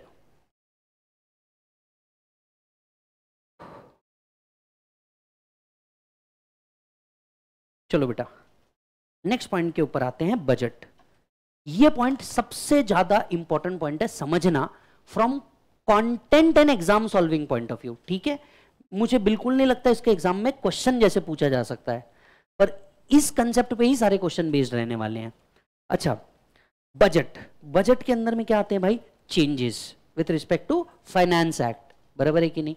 राइट बजट कब निकलता है? हर साल फ़र्स्ट फेब को। मतलब आप जब ये बैच देखते रहेंगे, शायद तभी बजट आज आएगा। बराबर है? अच्छा जी सर फ़र्स्ट फेब को बजट आता है। बजट जो होता है, ये एक फरवरी को आता है। पहले रेल बजट आता है, फिर फाइनेंस बजट आता है। ठीक है? अब बजट जो होता है सर ये कौन से एक्ट के हिसाब से आता है? F R B M act that is physical responsibility and budget management act तो कई लोगों को लगता है बजट फाइनेंस एक्ट के हिसाब से आता है कंप्लीटली मिस इन्फॉर्मेशन है।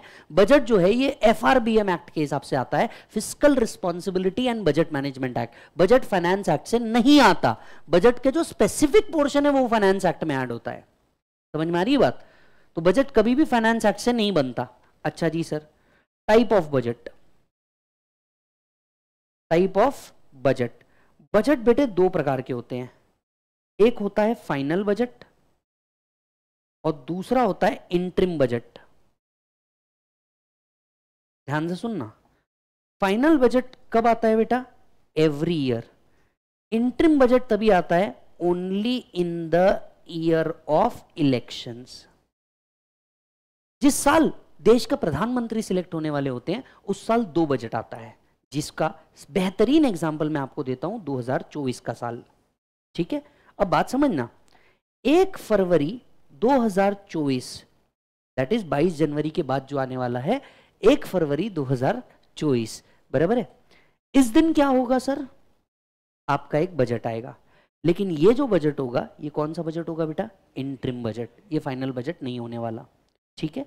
आपके मन में जो सवाल आ रहा है, क्या जो नया बजट आएगा, वो मेरे को एप्लीकेबल है क्या? उसी और मैं आपको लेके जा रहा हूँ कंसेप्चुअली लेके जा रहा हूँ। ठीक है? सुनना। आपके सवाल का जवाब मिल जाएगा बाय दिस कॉन्टेक्स्ट एंड होगा जब तक। इंट्रिम बजट आएगा। लेकिन आप सब जानते हैं इस साल प्रधानमंत्री सिलेक्ट होंगे, जो भी होंगे। बराबर है कि नहीं? बराबर है कि नहीं? जो भी होंगे, प्रधानमंत्री सिलेक्ट हो जाएँगे। हुम सो एवर इट इज़ हम तो खैर सबके फेवर में हैं।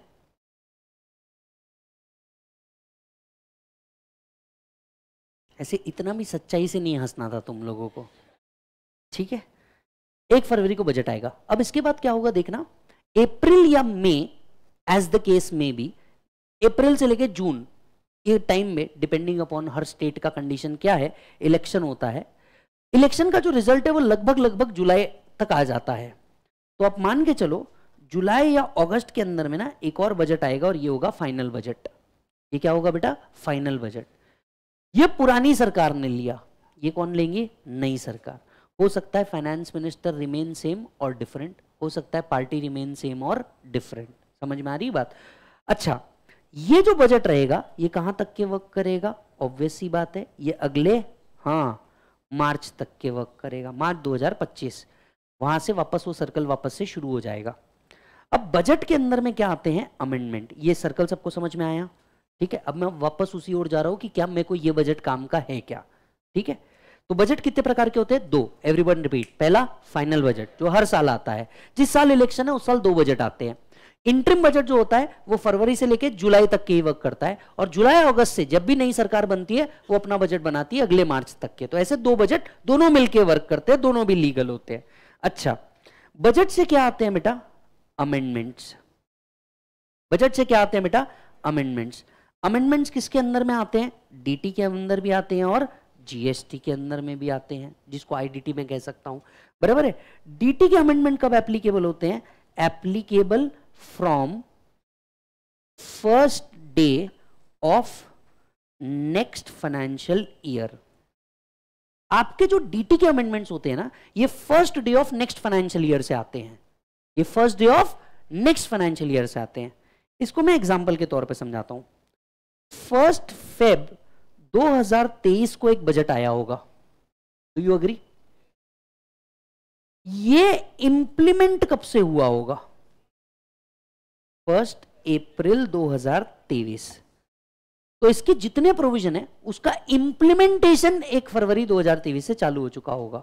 सॉरी एक अप्रैल 2023 से चालू हो चुका होगा। लेकिन आप सोच करके देखिए। यानी क्या मैं कह सकता हूँ, आपका फाइनेंशियल ईयर बनेगा एक चार 2023 से लेके इकतीस तीन 2024 अब इनकम टैक्स क्या थर्टी फ़र्स्ट मार्च को ही पे कर दोगे 2024 को? क्या income tax thirty first March को हाँ या ना, जल्दी रिप्लाई करते हो क्या income tax thirty first March को ही पे कर दोगे? नहीं! थर्टी फ़र्स्ट मार्च को कोई बुक्स ऑफ़ अकाउंट्स डन नहीं होती। यस और नो यानी ये तो फाइनेंशियल ईयर है, जिस ईयर में आप क्या कमाएँगे? इनकम इसके ऊपर टैक्स कब भरेंगे? असेसमेंट ईयर में। दैट इज़ बोलो जल्दी से। 24 25 यानी क्या मैं ऐसा कह सकता हूँ कि पूरा इनकम टैक्स जो है, ये किस लैंग्वेज में लिखा है? असेसमेंट ईयर की लैंग्वेज में लिखा है। पूरा इनकम टैक्स असेसमेंट क्योंकि ये तो फाइनेंशियल ईयर है, जिस साल में आपको नए लॉ को इंप्लीमेंट करना है। लेकिन इस साल जितनी आप इनकम कमाएँगे, उस पर टैक्स जो देंगे, वो आगे देंगे। क्योंकि थर्टी मार्च 2024 को तो तुम्हारी इनकम डन होगी। देन तुम उसके ऊपर जुलाई में रिटर्न भरते वक्त टैक्स पे करोगे, या अक्टूबर में रिटर्न भरते वक्त टैक्स पे करोगे। Are you getting the point yes यानी क्या मैं ऐसा कह सकता हूँ? Income tax practically is applicable from first day of next year समझ में आ रही बात? क्योंकि जो इनकम टैक्स एक्ट का इंप्लीमेंटेशन है, वो तो सीधा असेसमेंट ईयर में हो रहा है। तो आप मुझे बताइए फाइनेंस एक्ट 2023 का इंप्लीमेंटेशन कब होने वाला है? मे 24 नवंबर 24 आपका अटेम्प्ट इस टाइम पे आ रहा है, इसलिए। तो क्या फाइनेंस एक्ट 2024 जो लॉन्च होगा फ़र्स्ट फरवरी 2024 को, ये कब लागू होगा? मई 2025 नवंबर 2025 पूरा इनकम टैक्स आने वाले साल के लैंग्वेज में लिखा जाता है। इसका बहुत स्पेसिफिक रीजन है income of previous year is taxable in assessment year याद आ रहा है क्या? तो पूरा इनकम टैक्स आने वाले साल की लैंग्वेज में लिखा है। अब तुमने जो नवंबर तेईस तक की बुक पढ़ी होगी, वो फाइनेंस एक्ट 22 थी। समझ में आ रही बात? अब तुम्हारे लिए क्या बदल गया? फाइनेंस एक्ट बदल गया। लॉजिक समझ रहे क्या जहाँ से मैंने लेक्चर की शुरुआत की थी, पूरा लाके एक घंटे बाद आपको वहीं खड़ा कर दिया कि हम क्यों ये पढ़ने वाले हैं? फाइनेंस एक्ट तेईस अब आपके काम का है तो जितने चेंजेस फाइनेंस एक्ट ने लाए होंगे, जितने अमेंडमेंट फाइनेंस एक्ट ने लाए होंगे, जितने अमेंडमेंट फाइनेंस एक्ट ने लाए होंगे वो सारे के सारे अब आपको पढ़ने पड़ेंगे मई चौबीस, नवंबर चौबीस के लिए। और एक बात समझदारी से समझिए, मई चौबीस में जिसने पढ़ाया और गलती से फेल हो गया तो नवंबर चौबीस के लिए क्या उसको बुक बदलनी है? नहीं, वो सेम बुक चला पाएगा यस बिकॉज़ फाइनेंस एक्ट नहीं बदलेगा। लेकिन दो चीज़ उसको एडिशनली पढ़नी पड़ेगी। नोटिफिकेशन एंड सर्कुलर समझ में आया क्या? या फिर कोई जुडिशियल अपडेट इसीलिए पहले स्कोप पढ़ा जाता है, फिर बजट पढ़ा जाता है। लॉजिक समझ रहा है? इंटरलिंकिंग पहले समझो बजट क्या हो, पहले समझो स्कोप क्या है, फिर बजट पढ़ो तो तुमको पूरा इंटरलिंक होगा कि कौन सी चीज़ किस साल में पढ़नी है। तो अब एक फरवरी 2024 को जो बजट आएगा, या जुलाई 2024 को जो बजट आएगा, उसका तुम्हारे अटेम्प्ट से कोई लेन देन ना मई, ना जून, ना नवंबर, ना दिसंबर, किसी अटेम्प्ट में उसका कोई लेन देन नहीं है। ये क्लियर है? तो एक फरवरी को जो बजट आ रहा अपना काम धंधा बिल्कुल छोड़ के नहीं बैठने का कि बजट में क्या आया। त्याच्याशी तुम्हाला काही घेनदेन नाही. कळलं? अच्छा. So D T is applicable from first day of next year yes और नो राइट तो आपको जो पढ़ना है, वो क्या पढ़ना है बोलो? फाइनेंस एक्ट 2023 इसीलिए अब आप सबकी बुक का फाइनेंशियल ईयर बन जाएगा 23 24 और आप सभी लोगों का असेसमेंट ईयर बन जाएगा 24 25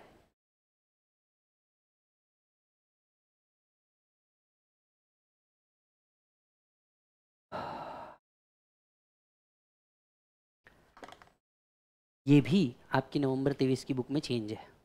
अब बोलो कितनी जगह चेंज करोगे? ये तो हर जगह चेंज है। हर डेट में चेंज है। समझ में आया मैं क्या बोल रहा था इतनी देर से? ये पूरा का पूरा चेंज है।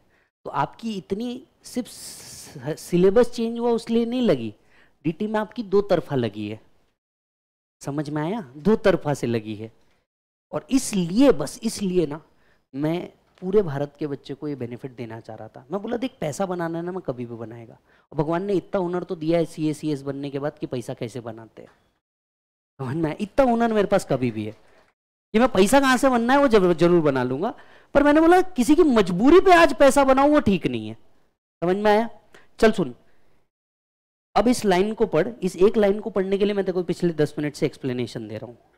अब ये लाइन तेरे को समझ आ रही है क्या? जरा समझाना। Your previous year will be 23 24 and your assessment year will be 24 25 बस ये एक लाइन को समझाने के लिए मैं देखो दस मिनट से एक्सप्लेन करे जा रहा हूँ कि बजट क्या होता है अमेंडमेंट क्या होता है, तेरे को कौन सा अमेंडमेंट पढ़ना है, तेरे लिए असेसमेंट ईयर प्रीवियस ईयर क्या है। सॉर्टेड है ब्रो अच्छा आईडीटी के अमेंडमेंट कब एप्लीकेबल होते हैं? ये आपको जीएसटी के टीचर बता ही देंगे। फिर भी जनरली फ्रॉम बोलो बेटा मिडनाइट जनरली फ्रॉम बोलो बेटा मिडनाइट ठीक है? हमने यहाँ पे जनरली वर्ड यूज़ किया, क्योंकि जब भी जीएसटी काउंसिल मीट होता है रेट बदल जाते हैं। इसीलिए हमने सिर्फ़ जनरली वर्ड को यूज़ किया। हालाँकि जीएसटी काउंसिल मीट जितने बार होगा, उस मिडनाइट से ही जीएसटी के रेट क्या हो जाते हैं? चेंज इस पर फर्दर डिटेल डिस्कशन आपको जीएसटी के टीचर करेंगे। लेट्स फोकस अगेन वो क्या क्या पढ़ा तक सर अभी तक हम लोगों ने? अब तक हम लोगों ने कॉन्स्टिट्यूशनल वैलिडिटी खत्म करी। कॉन्स्टिट्यूशनल वैलिडिटी खत्म करने के बाद इनकम के डेफिनेशन खत्म किए। Gross total income total income किया। डिडक्शन किया एग्जामेशन किया। फिर हम लोगों ने आकर के पढ़ा कि भैया अमेंडमेंट हमारे लिए क्या रोल प्ले करेगा और बुक्स हमें क्यों चेंज करनी है? ये रोल यहाँ खत्म हुआ। आइए नेक्स्ट पॉइंट यहाँ से।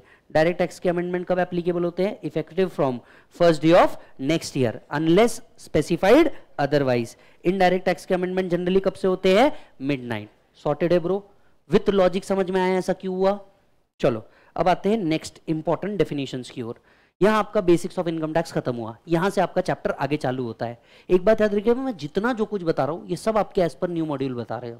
तो इसमें से एक भी पॉइंट ऐसा नहीं है जो आपके काम का नहीं होगा। और उतना ही पॉइंट रखूँगा जितने आपके एग्ज़ाम के पॉइंट का है। बाकी कुछ लिखना भी नहीं है। अच्छा जी, कुछ आते हैं इंपॉर्टेंट डेफिनेशन के ऊपर। भाई साहब, सबसे पहले आप मेरे साथ सेक्शन फोर लिखिए। सीधा सेक्शन फोर लिखो तो। Section four basis of charge जैसे लिख रहा हूँ, पेज बचाए बिना, वैसे ही लिखना। Income taxes payable for the assessment year at the rate specified by annual finance act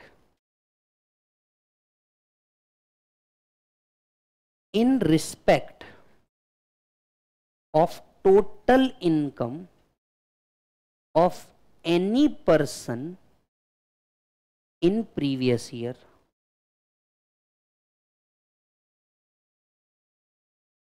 year in after मैं असेसमेंट ईयर को ए वाई से डिनोट करूँगा और प्रीवियस ईयर को पी वाई से डिनोट करूँगा। ये दो शॉर्ट एक्रोनिम आप एग्ज़ाम में लिख सकते हैं। सिर्फ़ यही दो। है ना? बैलेंस को बेल करके आओगे तो मार्क्स कटेंगे।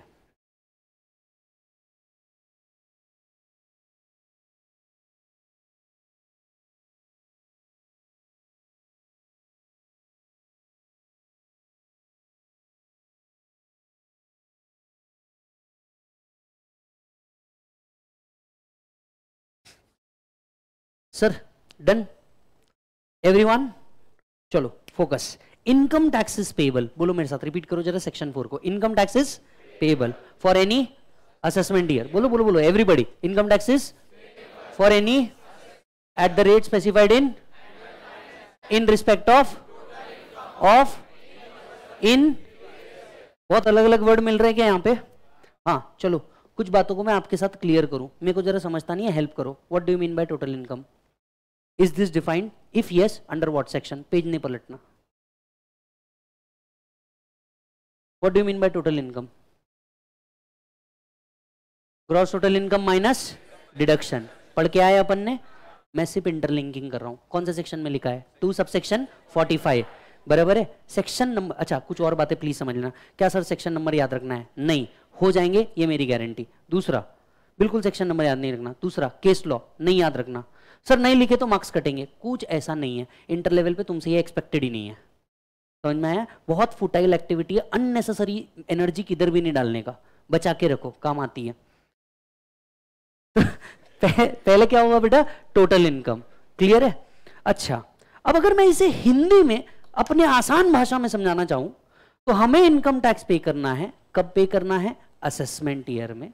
उस रेट पे जो फाइनेंस एक्ट में लिखे हैं in respect of total income मतलब फाइनेंस एक्ट पे टैक्स पे करना है। किस बेसिस पे?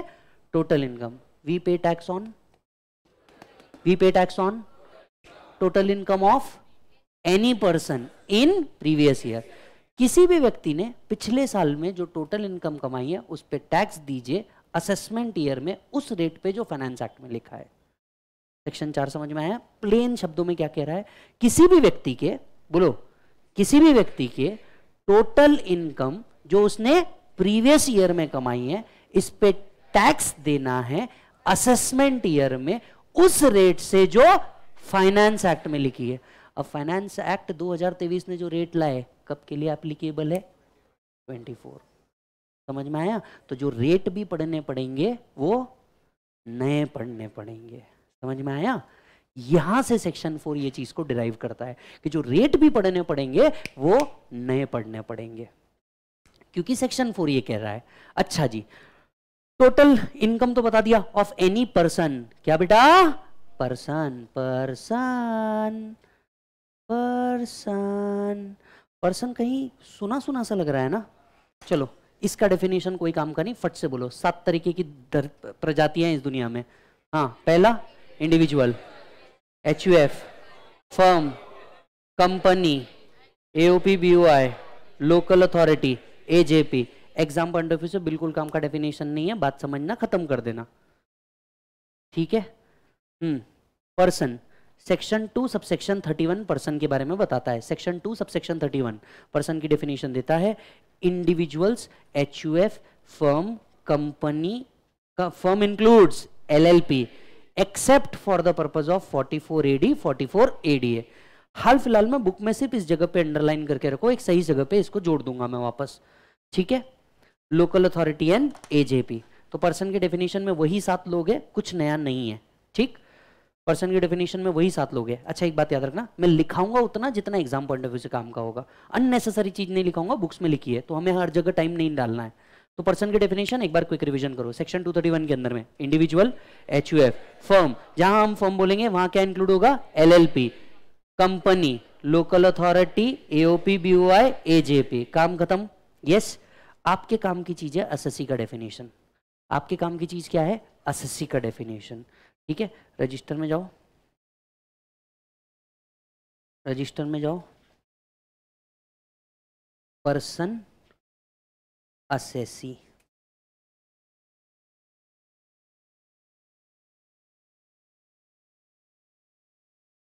section 231 section 2 subsection 7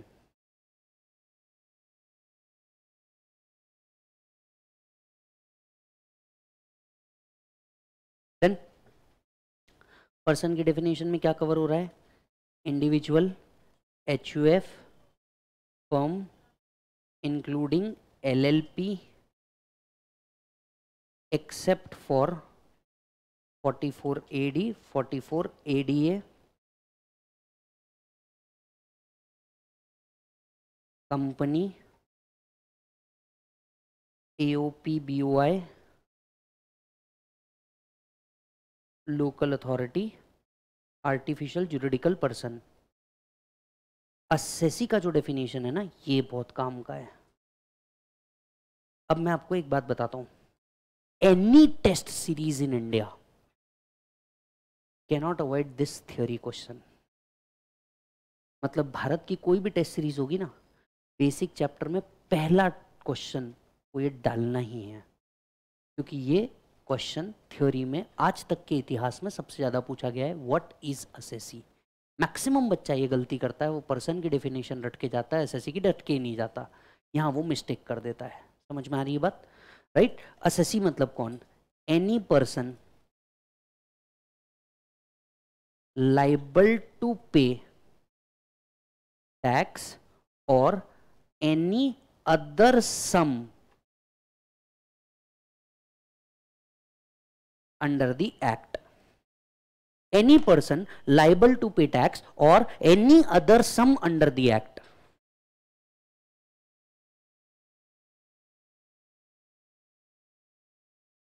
चलो, एक एमसीक्यू जल्दी से ट्रू और फॉल्स बोलना है। Every assessee is a person but every person is not assessee do you agree कैसे? एसएससी का डेफिनेशन ही कहाँ से चालू हो रहा? पर्सन राइट तो every assessee is a person पर हम पर्सन को तब तक असेसी नहीं मानते unless and he is not liable to pay tax Vijay की income is two lakh forty thousand is Vijay person yes is Vijay assessee no because is not liable to pay tax yes so every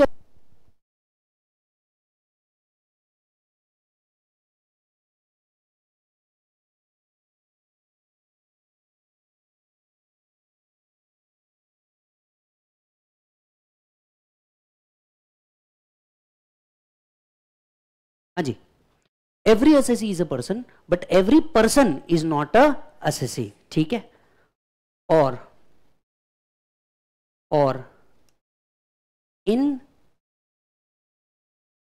in respect of other persons income और loss if he is assessable हम उसे भी assessee मानेंगे, अगर वो किसी और की इनकम या लॉस के लिए असेसेबल होगा। इतू सा भी नहीं समझ में आया ना क्या है? क्लबिंग अब समझो, कुछ समझेगा क्या? क्लबिंग नाम का एक चैप्टर था, पता है आपको? क्या होता था? तू प्यार है किसी और का, तुझे चाहता कोई और है, याद है? याद है क्या?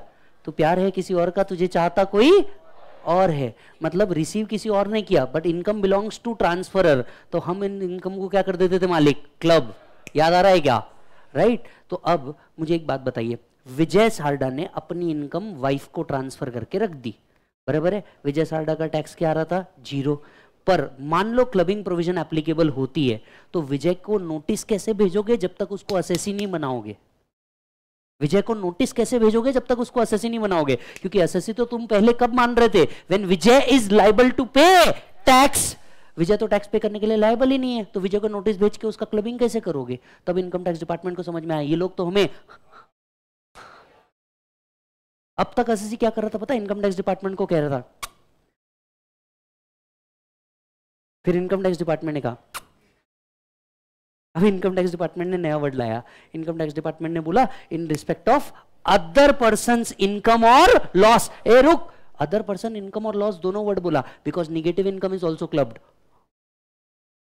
because negative income is also club इसलिए वर्ड आया अदर पर्सन इनकम और loss if he is assessable तो भी उसे क्या माना जाएगा? असेसी दूसरा ही is he is deemed to be assessee for example director trustee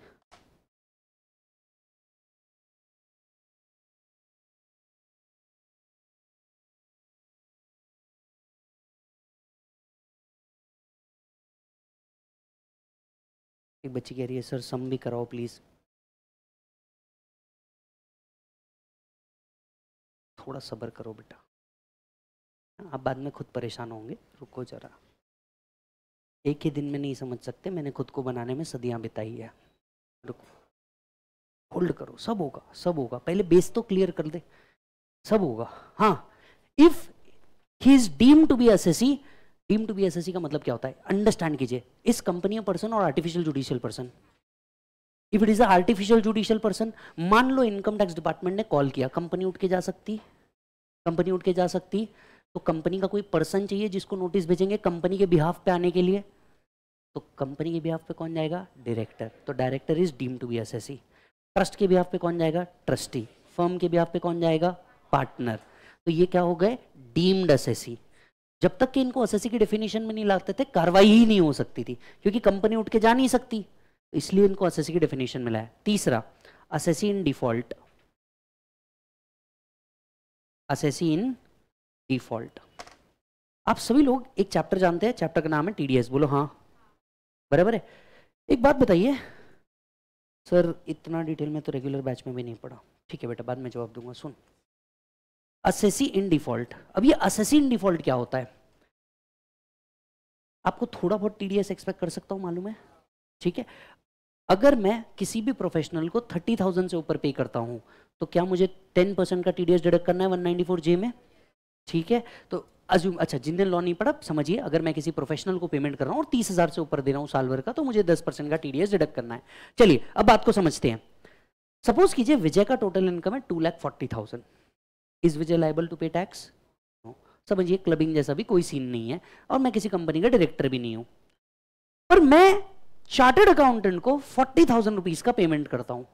Was Vijay liable to TDS but Vijay was not liable to pay tax जो TDS वो deduct कर रहा है, वो तो उसके भी हाफ़ पे टैक्स पेड माना जा रहा है, जिसका मैंने टीडीएस काटा है। एवरीबॉडी यस और नो अब विजय दो लाख चालीस हज़ार का टोटल इनकम है। विजय को खुद का टैक्स नहीं भरना। पर विजय फोर्टी थाउज़ेंड का पेमेंट किसको कर रहा है? चार्टर्ड अकाउंटेंट को कर रहा है। तो टीडीएस प्रोविज़न के तहत विजय को टीडीएस करना चाहिए। हाँ या ना? बराबर है? या कोई अदर पेमेंट कर रहा है? नॉट जस्ट 194 जे मान लीजिए कोई अदर पेमेंट कर रहा है जिसपे टीडीएस होना चाहिए। विजय ने टीडीएस डिडक्ट नहीं किया। टीडीएस अगर डिडक्ट नहीं किया तो इसके दो कॉन्सिक्वेंसेज है, याद दिलाता हूँ। बस थोड़ा बहुत याद रखिए, ज़्यादा याद रखने का ज़रूरत नहीं है। अगर टीडीएस डिडक्ट नहीं किया सेक्शन 40 ए कहता है डिसअलावेंस अट्रैक्ट करेगा। रेसिडेंट को 30 परसेंट नॉन रेसिडेंट को 100 परसेंट याद आ रहा है क्या? 40 ए आई 40 ए आइए। याद आ रहा है? अच्छा दूसरा टीडीएस अगर डिडक्ट नहीं किया तो इंटरेस्ट और पेनल्टी लगाया जाएगा। बराबर है? पहला डिसअलावेंस आपको नहीं भी समझे तो भी ओके है। इंटरेस्ट और पेनल्टी तो लगेगा टीडीएस डिडक्ट करना चाहिए, ता किया नहीं। अब इनकम टैक्स डिपार्टमेंट मेरे पास क्या लेके आया नोटिस लेके आया बोले, विजय टीडीएस डिडक्ट नहीं किया, ये लो, चलो नोटिस भरो, जल्दी से भरो इंटरेस्ट और पेनल्टी मैं क्या बोलूँगा, सर, एक मिनट आप पे अगर मुझे कोई भी कार्रवाई, आपको मुझ पे कोई भी कार्रवाई करनी है, पहले मेरे को असेसी बनाओ। पहले अपना तो बनाओ, फिर हक जमाओ। बात समझो असेसी तो बनाओ। तुम असेसी नहीं बनाओगे असेसी की डेफिनेशन में मैं किधर आ रहा हूँ बताओ। विजय की टोटल इनकम कितनी थी? Is Vijay liable to pay tax no clubbing जैसा कोई सीन टीम असेसी वाला कोई सीन ऐसे आदमियों पे कार्रवाई नहीं हो पाती थी। तो मान लो जो इनकम टैक्स डिफ़ॉल्ट करके बैठे हैं, अपनी इनकम छुपा के बैठे हैं, इनको तो कभी इनकम टैक्स डिपार्टमेंट नोटिस ही नहीं भेज पाता था और टैक्स कलेक्ट ही नहीं हो पाता था बिकॉज़ आर्टिकल 265 मैं वापस एक घंटे बाद वहीं घूम के आ गया हूँ। लेवी कलेक्शन कलेक्शन का मतलब था कलेक्शन और रिकवरी रिकवरी किस हक से करते थे जब तक असेसी नहीं तो? समझ में आया? तीसरा वर्ड लाया। तुम अगर डिफ़ॉल्ट में भी हो तो भी तुम्हें क्या माना जाएगा? असेसी एंड इस एंगल से ये डेफिनेशन बहुत इंपॉर्टेंट बन जाती है फाइनल और इंटर लेवल दोनों पे। रटना है। लॉजिक तो समझा दिया। याद रहेगा नहीं। चलो रटते हैं थोड़ा सा असेसी का मतलब तीन शब्दों में समझाइए। एनी पर्सन बोलो मेरे साथ जरा any person who is liable to pay tax or any other sum under the act. Stop. एक और डेफिनेशन को थोड़ा सा तोड़ता हूँ जो चीज़ इंपॉर्टेंट है, उस पर अच्छे से डिस्कशन करेंगे। और एनी अदर सम क्यों जोड़ा एक व्यक्ति था विजय इसको इनकम टैक्स डिपार्टमेंट ने लव लेटर भेजा देखो टैक्स भरना है पाँच हज़ार इंटरेस्ट भरना है पाँच हज़ार फ़ीस भरना है पाँच हज़ार टोटल हो गया पंद्रह हज़ार बराबर है अब विजय ने क्या किया पहले इस डेफिनेशन में लिखा था सिर्फ़ वर्ड था टैक्स विजय ने पाँच हज़ार भरा पंद्रह हज़ार में से और विजय जाने लगा इतने में डिपार्टमेंट आया डिपार्टमेंट बोलता है पंद्रह हज़ार पंद्रह हज़ार भरना है, तूने पाँच भरा है। हाँ सर। अगर any other sum under the act नहीं लिखा होता तो इंटरप्रिटेशन क्या है? टैक्स आपने जो बोला, मैंने कर दिया। जितना बोलोगे, उतना हो गया। आगे का एक्सपेक्टेशन मत रखो। आपने रोका ही नहीं, हम आगे बढ़ गए। बात सिंपल है। तब जाके लॉ वालों को समझ में आया ये लोग तो हमारी। बेवकूफ़ बनाया रह जा रहा है, तब ऐड किया गया एनी अदर सम लॉजिक समझ में आ रहा है? चलो स्टार्ट करो. Who is assessee any person who is liable to pay tax और any other sum under the act और in respect of other person income और loss he is assessable he is deem to be assessee he is assessee in default चलो एक बार फिर से. ठीक है? अब स्क्रीन हटा दिया मैंने. बोलो जल्द. Any person who is liable to pay tax or any other sum under the act or in respect of other person he income or loss if he is assessable deemed to be assessee assessee in default last time तुम्हारे x के लिए जल्दी से बोलो every person who is liable to pay tax or any other sum under the act or in respect of other person if he is assessable income और loss deem to be S S S assessee in default विषय खत्म चलो next point assessee की definition person liable to pay tax deem to be assessee assessee in default clear है वापस से section four पे आओ वापस से सेक्शन फोर पे आओ सेक्शन फोर क्या कहता है income taxes payable for assessment year at the rate specified by annual finance act in respect of total income of any person in previous year. बराबर है? Total income previous year word को खुल खल कर दिया। नेक्स्ट पॉइंट पे आते हैं। बोलो नेक्स्ट दो वर्ड क्या दिख रहे हैं? Assessment year previous year what do mean by assessment year previous year previous year anyone what is the definition of previous year? Previous year is the year. Income is यही गड़बड़े मैंने definition पूछा, तुमने सही नहीं बोला। डेफिनेशन है previous year is the year immediately preceding assessment year जाओ जाके देखो। मी काय विचारतोय तुम्ही काय बोलताय यही तो डिफरेंस है, यही गैप तो फिल करना है। डेफिनेशन क्या है? Any year preceding assessment year समझ में आया? अब जनरली हम हमारा जो इनकम अर्न करते हैं, उस ईयर को भी प्रीवियस ईयर कहा जाता है। लेकिन डेफिनेशन बहुत क्लियर है। हर असेसमेंट ईयर के पहले का ईयर को हम क्या मानेंगे? प्रीवियस ईयर एक सवाल है प्रीवियस ईयर बारह महीने का होना ज़रूरी है क्या? क्या प्रीवियस ईयर एक दिन का भी हो सकता है? क्या प्रीवियस ईयर एक दिन का भी हो सकता है? यानी प्रीवियस ईयर को क्वांटम में डिफाइन किया हुआ नहीं है। इसीलिए बस एक शब्द बोला जाता है previous year is the year preceding the assessment year clear hai what is assessment year? Every year starting from 1st april is assessment year assessment year 12 महीने से कम का हो सकता है असेसमेंट ईयर 12 महीने का ही रहेगा yes? तो प्रीवियस ईयर असेसमेंट ईयर आओ जल्दी से previous year means the financial year immediately preceding assessment year in case of business commencement previous year starts from the date of commencement समझिए let's say if business is started on 1st august 2023 the previous year will be from 1st august to 31st march. ठीक है?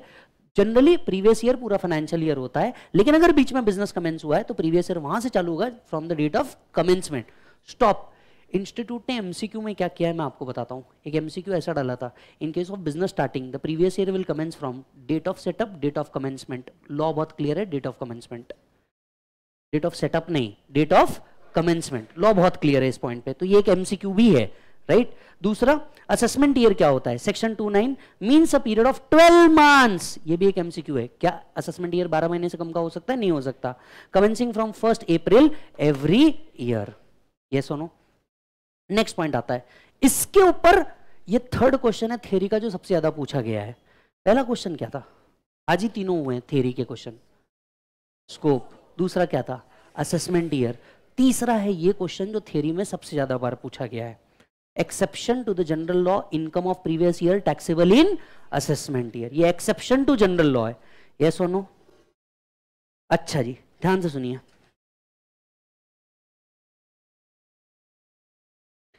General rule is that income of previous year is taxable in assessment year right यानी जो आप previous year में कमाएँगे that is 23 24 में जो आप कमाएँगे 24 25 में आप उसके ऊपर टैक्स देंगे। बराबर? या तो जुलाई में या तो अक्टूबर में रिटर्न भरते वक्त। लेकिन इसके पाँच एक्सेप्शन है। पाँच लोगों को उसी साल टैक्स भरना होता है जिस साल में उन्होंने इनकम अर्न की है।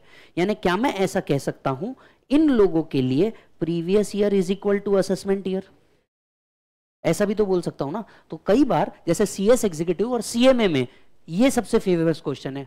What are the cases where previous year is equal to assessment year वहाँ पे ये क्वेश्चन पूछते। और सीए में ये पूछते what are the exception to the general rule previous year tax income of previous year is taxable in assessment year हालाँकि दोनों क्वेश्चन के मीनिंग सेम है। आप स्कैनर भी उठाकर देखोगे तो सेम ही नहीं मिलेगा आपको। पाँच केसेस कौन कौन से है? पहला non resident shipping business right पहला कौन सा है बेटा? नॉन रेसिडेंट शिपिंग बिज़नेस अब कोई नॉन रेसिडेंट शिप है नॉन रेसिडेंट शिप राइट जो इंडिया में रजिस्टर्ड नहीं है। ये इंडियन पोर्ट पे आती है तो पोर्ट को छोड़ने से पहले जितना पैसा इन्होंने इंडिया से कमाया है, चाहे वो गुड्स से कमाया हो, चाहे वो पैसेंजर से कमाया हो, उससे रिगार्डिंग टैक्स उनको अभी ही देना पड़ता है, जिस साल में कमाया पोर्ट छोड़ने से पहले।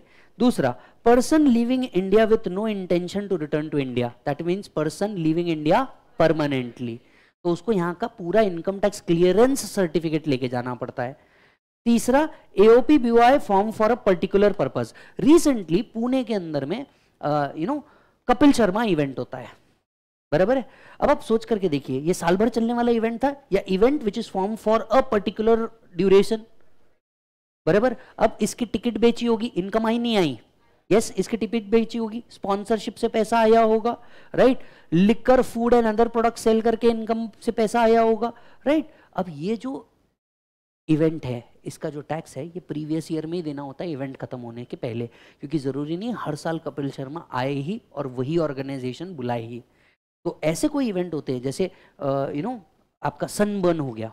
सनबर्न फेस्ट होता है पुणे के अंदर में। तो सनबर्न फेस्ट जो हो गया, ये कैसा हो गया? वन टाइम इवेंट हो गया। मान लीजिए कोई डब्ल्यू डब्ल्यू रेसलिंग चैंपियनशिप हो गई। ये वन टाइम इवेंट हो गए। तो इनके लिए जो टैक्स भरा जाता है, वो उसी ईयर में भरा जाता है। गरबा इवेंट्स हो गए, नवरात्रि इवेंट्स हो गए। उसी टाइम पे इनके टैक्स कंप्लायंसेस को पूरा किया जाता है, उसी फाइनेंशियल ईयर के अंदर में। तो तीन लोग बताओ अब तक कौन से। पहला नॉन रेसिडेंट शिपिंग बिज़नेस दूसरा पर्सन लिविंग इंडिया परमानेंटली तीसरा AOP BOI form for short duration चौथा person likely to transfer the property to avoid tax ये पावर है। इस बात को समझिए, इस पावर को आज तक कभी एक्सरसाइज नहीं किया गया है। मतलब इनकम टैक्स इतना एक्टिव कभी नहीं रहा। ये पावर ऐसा कहता है कि अगर कभी भी मुझे ऐसा लगता है, जैसे मान लो ये, भाई नाम क्या तेरा? सानिध्य। मुझे ऐसा लगता है कि ये सानिध्य जो है ना, ये नेक्स्ट विजय माल्या है। ये, समझ रहे हो? निकल जाएगा कल सुबह। ये आदमी देश छोड़ने की तैयारी में है और ये सब कुछ बेच के क्या छोड़ना चाहेगा? देश। मतलब अगर हमने कल इसको पकड़ भी लिया तो इससे कुछ मिलने वाला नहीं है। तो अगर इनकम टैक्स डिपार्टमेंट को कभी भी ऐसा लगता है that person is transferring the property to avoid tax तो वो क्या कर सकते हैं? इनको नोटिस भेज के पहली बात तो इनके प्रॉपर्टी के सेल को रोक सकते हैं और दूसरा इनको बोल सकते हैं पहले टैक्स भर, या तो बेच के पहले मेरे को पैसा आएगा। हालाँकि इतने प्रोएक्टिव हम कभी नहीं रहे। समझ में आ रही बात? तो ये सिर्फ़ एक पावर है। That if income tax department को कभी भी ऐसा लगता है that person is likely to transfer the property to avoid tax वो टैक्स भरवा सकते हैं। And last income of a discontinued business right अगर बिज़नेस क्लोज हो चुका है, अगर बिज़नेस क्लोज हो चुका है तो भाई साहब, बोलो बोलो बोलो, उसी साल टैक्स भरना है। जब अगले साल बिज़नेस ही नहीं रहेगा तो कंप्लायंस कौन करेगा? ठीक है? तो पाँच केसेस अब इसको क्योंकि सबसे ज़्यादा बार पूछा गया इसको याद रखने का एक तरीका बताता हूँ आपको। ठीक है? मान लो अपना सानिध्य क्या कर रहा था? गणपति डांस कर रहा था। क्या कर रहा था? मस्त बीच पे था, गणपति डांस कर रहा था। इतने में एक शिप आई कौन आई? शिप से उतरी एक सुंदर कन्या। कौन उतरी? सुंदर कन्या ने एक बहुत ही खूबसूरत लड़के को देखा। उसका नाम क्या था? सानिध्य। वाह बेटे, वाह। मतलब इस पूरे पूरे बीच पे इसके अलावा खूबसूरत कोई है ही नहीं। ठीक है? लड़की उसके पास गई। लड़की कहती है, मैं तुम्हें एक रॉक स्टार बनाऊँगी। मैं तुम्हें क्या बनाऊँगी? रॉक स्टार बींग लड़का कहता है, चलो। ठीक है? वो कहता है, मैं दो काम करके आता हूँ, अपना सारा सामान बेच के आता हूँ और दुकान बंद करके आता हूँ। क्या कहता है? अपना सारा सामान बेच के आता हूँ और अपनी दुकान बंद करके आता हूँ। जैसे ही वापस आए, लड़की बोलती है, मुझे तुझसे दो वादे चाहिए, तू मुझे छोड़ के कभी नहीं जाएगा। लड़की क्या कह रही है? है कुछ अखंड सिंगल लोग बोलने से भी कतरा रहे हैं ये। बोलो बोलो, थोड़ा सा तुम मुझे छोड़ के? और ये इंडिया जैसी प्लेस पर दोबारा कभी नहीं आएगा। ठीक है? चलो स्टोरी को वापस से रिपीट करते हैं। ये पूरा कॉन्टेक्स्ट एक मिनट में याद हो सकता है। सानिध्य क्या कर रहा था?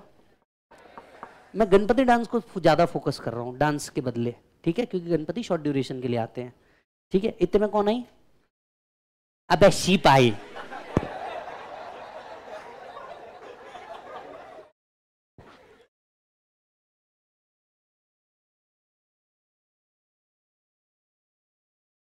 शिप आई। फोकस क्या करना है? शिप। शिप से कौन उतरी? है ना? कन्या पे फोकस मत कर बेटा। तेरा धन्य अगर करना है तेरे को कन्या फोकस मत। शिप आई। शिप से उतरी लड़की लड़की ने बोला मुझे तुझसे सॉरी मैं तुझे रॉक स्टार बनाऊँगी। मैं तुझे क्या बनाऊँगी? शिट रॉक स्टार बनाऊँगी। ठीक है? ये क्या बोलता है? मैं कितने काम करके आता हूँ? अपना सारा सामान? अपनी दुकान? जैसे ये वापस आया तुम मुझे छोड़ के इंडिया जैसी प्लेस पे दोबारा कभी नहीं आओगे। चलिए स्टोरी को रिट्रीट करते हैं। सबसे पहले गणपति डांस करा था। AOP BOI form for short duration इतने में कौन आई थी? Ship non resident shipping business मैं दो काम करके आता हूँ। सारा सामान बेच के आता हूँ। Transfer of property to avoid tax ठीक है? अपना सारा सामान बेच के आता हूँ। दुकान बंद करके आता हूँ। क्लोजर ऑफ़ बिज़नेस तुम मुझे छोड़ के कभी नहीं जाओगे। सिर्फ़ राइमिंग है। इंडिया जैसी प्लेस पे दोबारा कभी नहीं आओगे। पर्सन लिविंग इंडिया परमानेंटली बात समझ में आ रही है? चलो वापस एक बार, बस एक बार क्विक रिवीजन कर लो। पाँच केसेस में previous year is equal to assessment year Sanidhya क्या कर रहा था? इतने में कौन है शिप लड़की क्या बोलती है? रॉक स्टार बनाऊँगी। ये क्या बोलता है? दो काम करके आता हूँ। सारा सामान? अपनी दुकान? जैसे ये वापस आया। तो मुझे छोड़ के इंडिया जैसी प्लेस पे दोबारा? हाँ पहला। गणपति से क्या याद आएगा? AOP BOI form for short duration ship से क्या याद आएगा? Non resident shipping business transfer of property to avoid tax closure of business person leaving india खत्म आपको यहाँ पे सिर्फ़ लिखना है exception to the rule income of previous year is taxable in assessment year. Refer notes.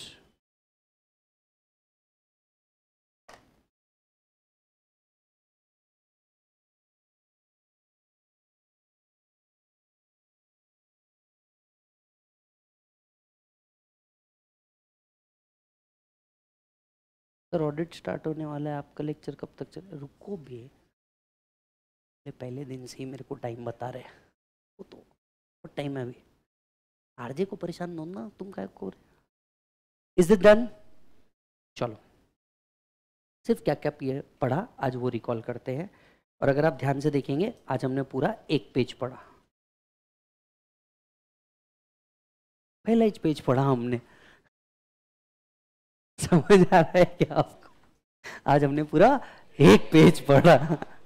चलो जी, जल्दी से बताओ। सबसे पहले क्या आपको फाइनेंस एक्ट का चेंज समझ में आया? कहाँ कहाँ अमेंडमेंट है वो समझ में आए? चलो, इसके बाद हम लोगों ने देखा कॉन्स्टिट्यूशनल वैलिडिटी सबसे पहले आर्टिकल 265 पढ़ा, कोई भी टैक्स कलेक्ट नहीं किया जा सकता except by authority of law like authority में कौन कौन है? पार्लियामेंट प्रेसिडेंट ठीक है? टैक्स जो होंगे वो डिवाइड होंगे। सरचार्ज डिवाइड होता नहीं। Act is applicable to whole of India income tax कौन कवर करता है? Central government under entry number two. Yes आप लोग के लिए प्रीवियस ईयर क्या है? Twenty three twenty four assessment year क्या बनेगा? स्कोप ऑफ़ इनकम टैक्स में पाँच चीज़ें। Act rules notification circular case law ठीक है। ओके टेल मी असेसी का डेफिनेशन क्या है? Any person liable to pay tax और any other sum under the act और in respect of other person income और loss if he is assessable deem to be assessee assessee in default generally income of previous year is taxable in assessment year previous year बारह महीने से कम का हो सकता है। Assessment year बारह महीने से कम का हो सकता नहीं। प्रीवियस ईयर एक दिन का भी हो सकता है। General rule income of previous year is taxable in assessment year कितने एक्सेप्शन है? पाँच। क्लियर है मालिक? ओके डायरेक्ट टैक्स के अमेंडमेंट कब आते हैं? बजट आ जाता है। एप्लीकेबल कब से होते हैं? First day of assessment year याद आ रहा है क्या तुम लोग को? इसी के लिए फाइनेंस एक्ट आपके मई 24 नवंबर 24 के लिए काम के है। Is that done yes sir रुकूँगा यहीं। अब सिर्फ़ एक जगह मैं आपको आकर के रोक देता हूँ आज के लिए। मैं सेक्शन फोर में प्लीज़ वापस चल जाइए। सेक्शन फोर में प्लीज़ एक मिनट के लिए वापस जाइए। अगर आप देखेंगे असेसमेंट ईयर में टैक्स देना है प्रीवियस ईयर की इनकम पे। अब पूरे गेम में सिर्फ़ एक चीज़ बाकी है टैक्स कैलकुलेशन कल से हम लोग टैक्स कैलकुलेशन चालू करेंगे। दो बातें आप, मैं सभी को बता दूँ। प्लीज़ अब ध्यान से सुनना। बुक बंद कर दो बैग वैग बंद कर देना, जिसको जो करना है। इसके बाद आरजे ऑडिट ले रहा है और मैं आपको पहले ही बता चुका हूँ ऑडिट में कंप्लीट चेंज है, वो आके बताएगा ही और अगर फास्ट ट्रैक है तो एक डिसिप्लिन के साथ बैठ करके उसे कंप्लीट करो।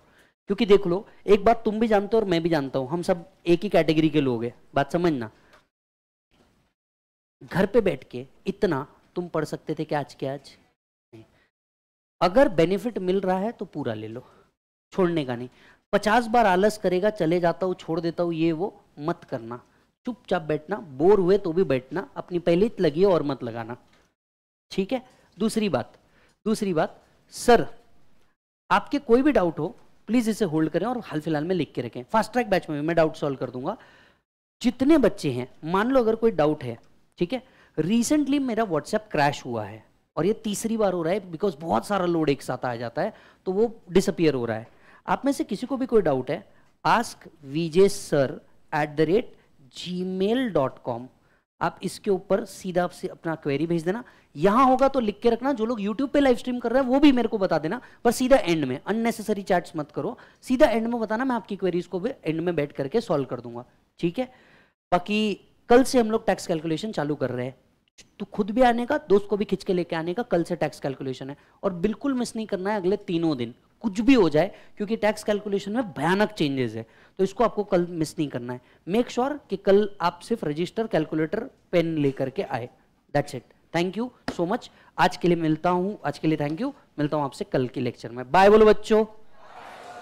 यस yes, तो जितने बच्चे ऑनलाइन बैठे हैं यूट्यूब पे आपके कोई डाउट है तो प्लीज़ अब भेज दो। और हाँ वीडियो को लाइक करना मत भूलना, इससे हमें वैल्यू मिलेगी।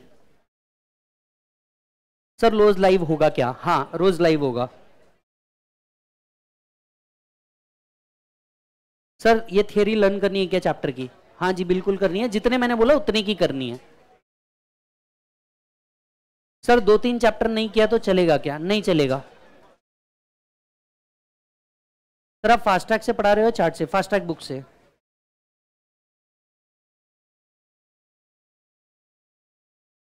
सर, वो आपने केस लॉ में डिस्कस किया था टाटा का क्लेस वो बेटा आगे आएगा पीजीबीपी के अंदर में। अबे रुको, अबे कमेंट भी थोड़ा धीरे करो ना, समझ में तो आए, कर क्या रहे हो? सर, इतने चैट चल रहे डाउट कैसे पूछे? Ask Vijay sir at the rate Gmail dot com personalize doubt solving sir module से किया तो भी हो जाएगा क्या? साइज़ तुम समझ लो, बाकी मेरे को कोई प्रॉब्लम नहीं। सर मॉड्यूल पढ़ना है क्या उसके अलावा? मॉड्यूल पढ़ मत क्वेश्चन तो सॉल्व कर ले पूरे मॉड्यूल के। क्योंकि कंटेंट तेरा यही कवर हो जा रहा है तो क्वेश्चन तू मॉड्यूल के सॉल्व कर ले, उसमें कोई तकलीफ़ नहीं। सर ओल्ड क्वेश्चन बैंक काम का है क्या? इतना समझाया एक घंटा। क्या सवाल है ये?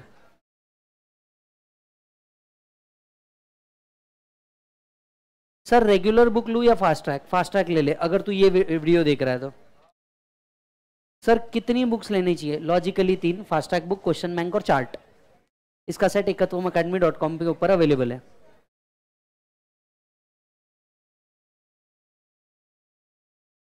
सर बुक किधर से परचेज करें? एकत्वम अकेडमी की वेबसाइट या आपके पास हमारे कोई सेंटर होंगे, वहाँ से भी जाके आप परचेज कर सकते हैं. एकत्वम से कर सकते हो. प्रेस्टीज पॉइंट से भी आप ले सकते हो कलेक्ट कर सकते हो.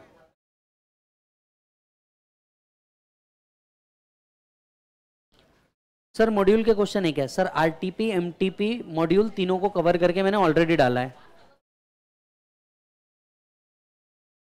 अब अब रुको तो सरी, सवाल पढ़ने तो उसके पहले दस चार्ट डाल रहे हो। रुको तो सरी बे।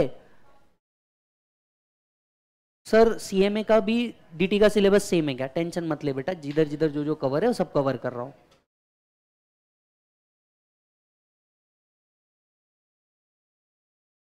अच्छा सुनो, आगे के चैप्टर का क्वेश्चन अभी मत पूछ। रुको बे।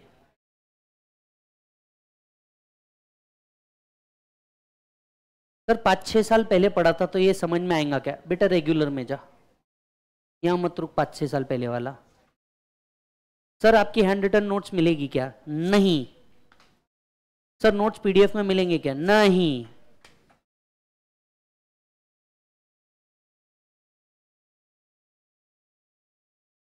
Sir difference in regular book and fast track content वहाँ पे सब कुछ दिया है और यहाँ पे एग्ज़ाम ओरिएंटेड ही दिया है। कंटेंट सारा कवर्ड है, खैर। जीएसटी का फास्ट ट्रैक कब से शुरू होगा? 10 फरवरी से।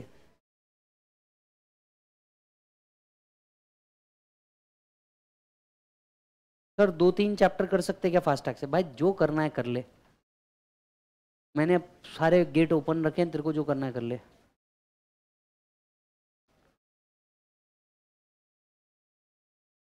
डन यस सर तीन बुक है जनरली एक है आपका ये फास्ट ट्रैक बुक और दूसरा है सर दिस क्वेश्चन बैंक किधर गया? हाँ this question bank done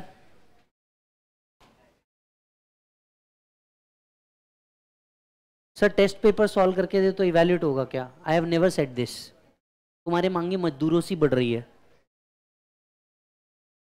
sir, आप मेरे भी आप पे पेपर लिख सकते हो क्या?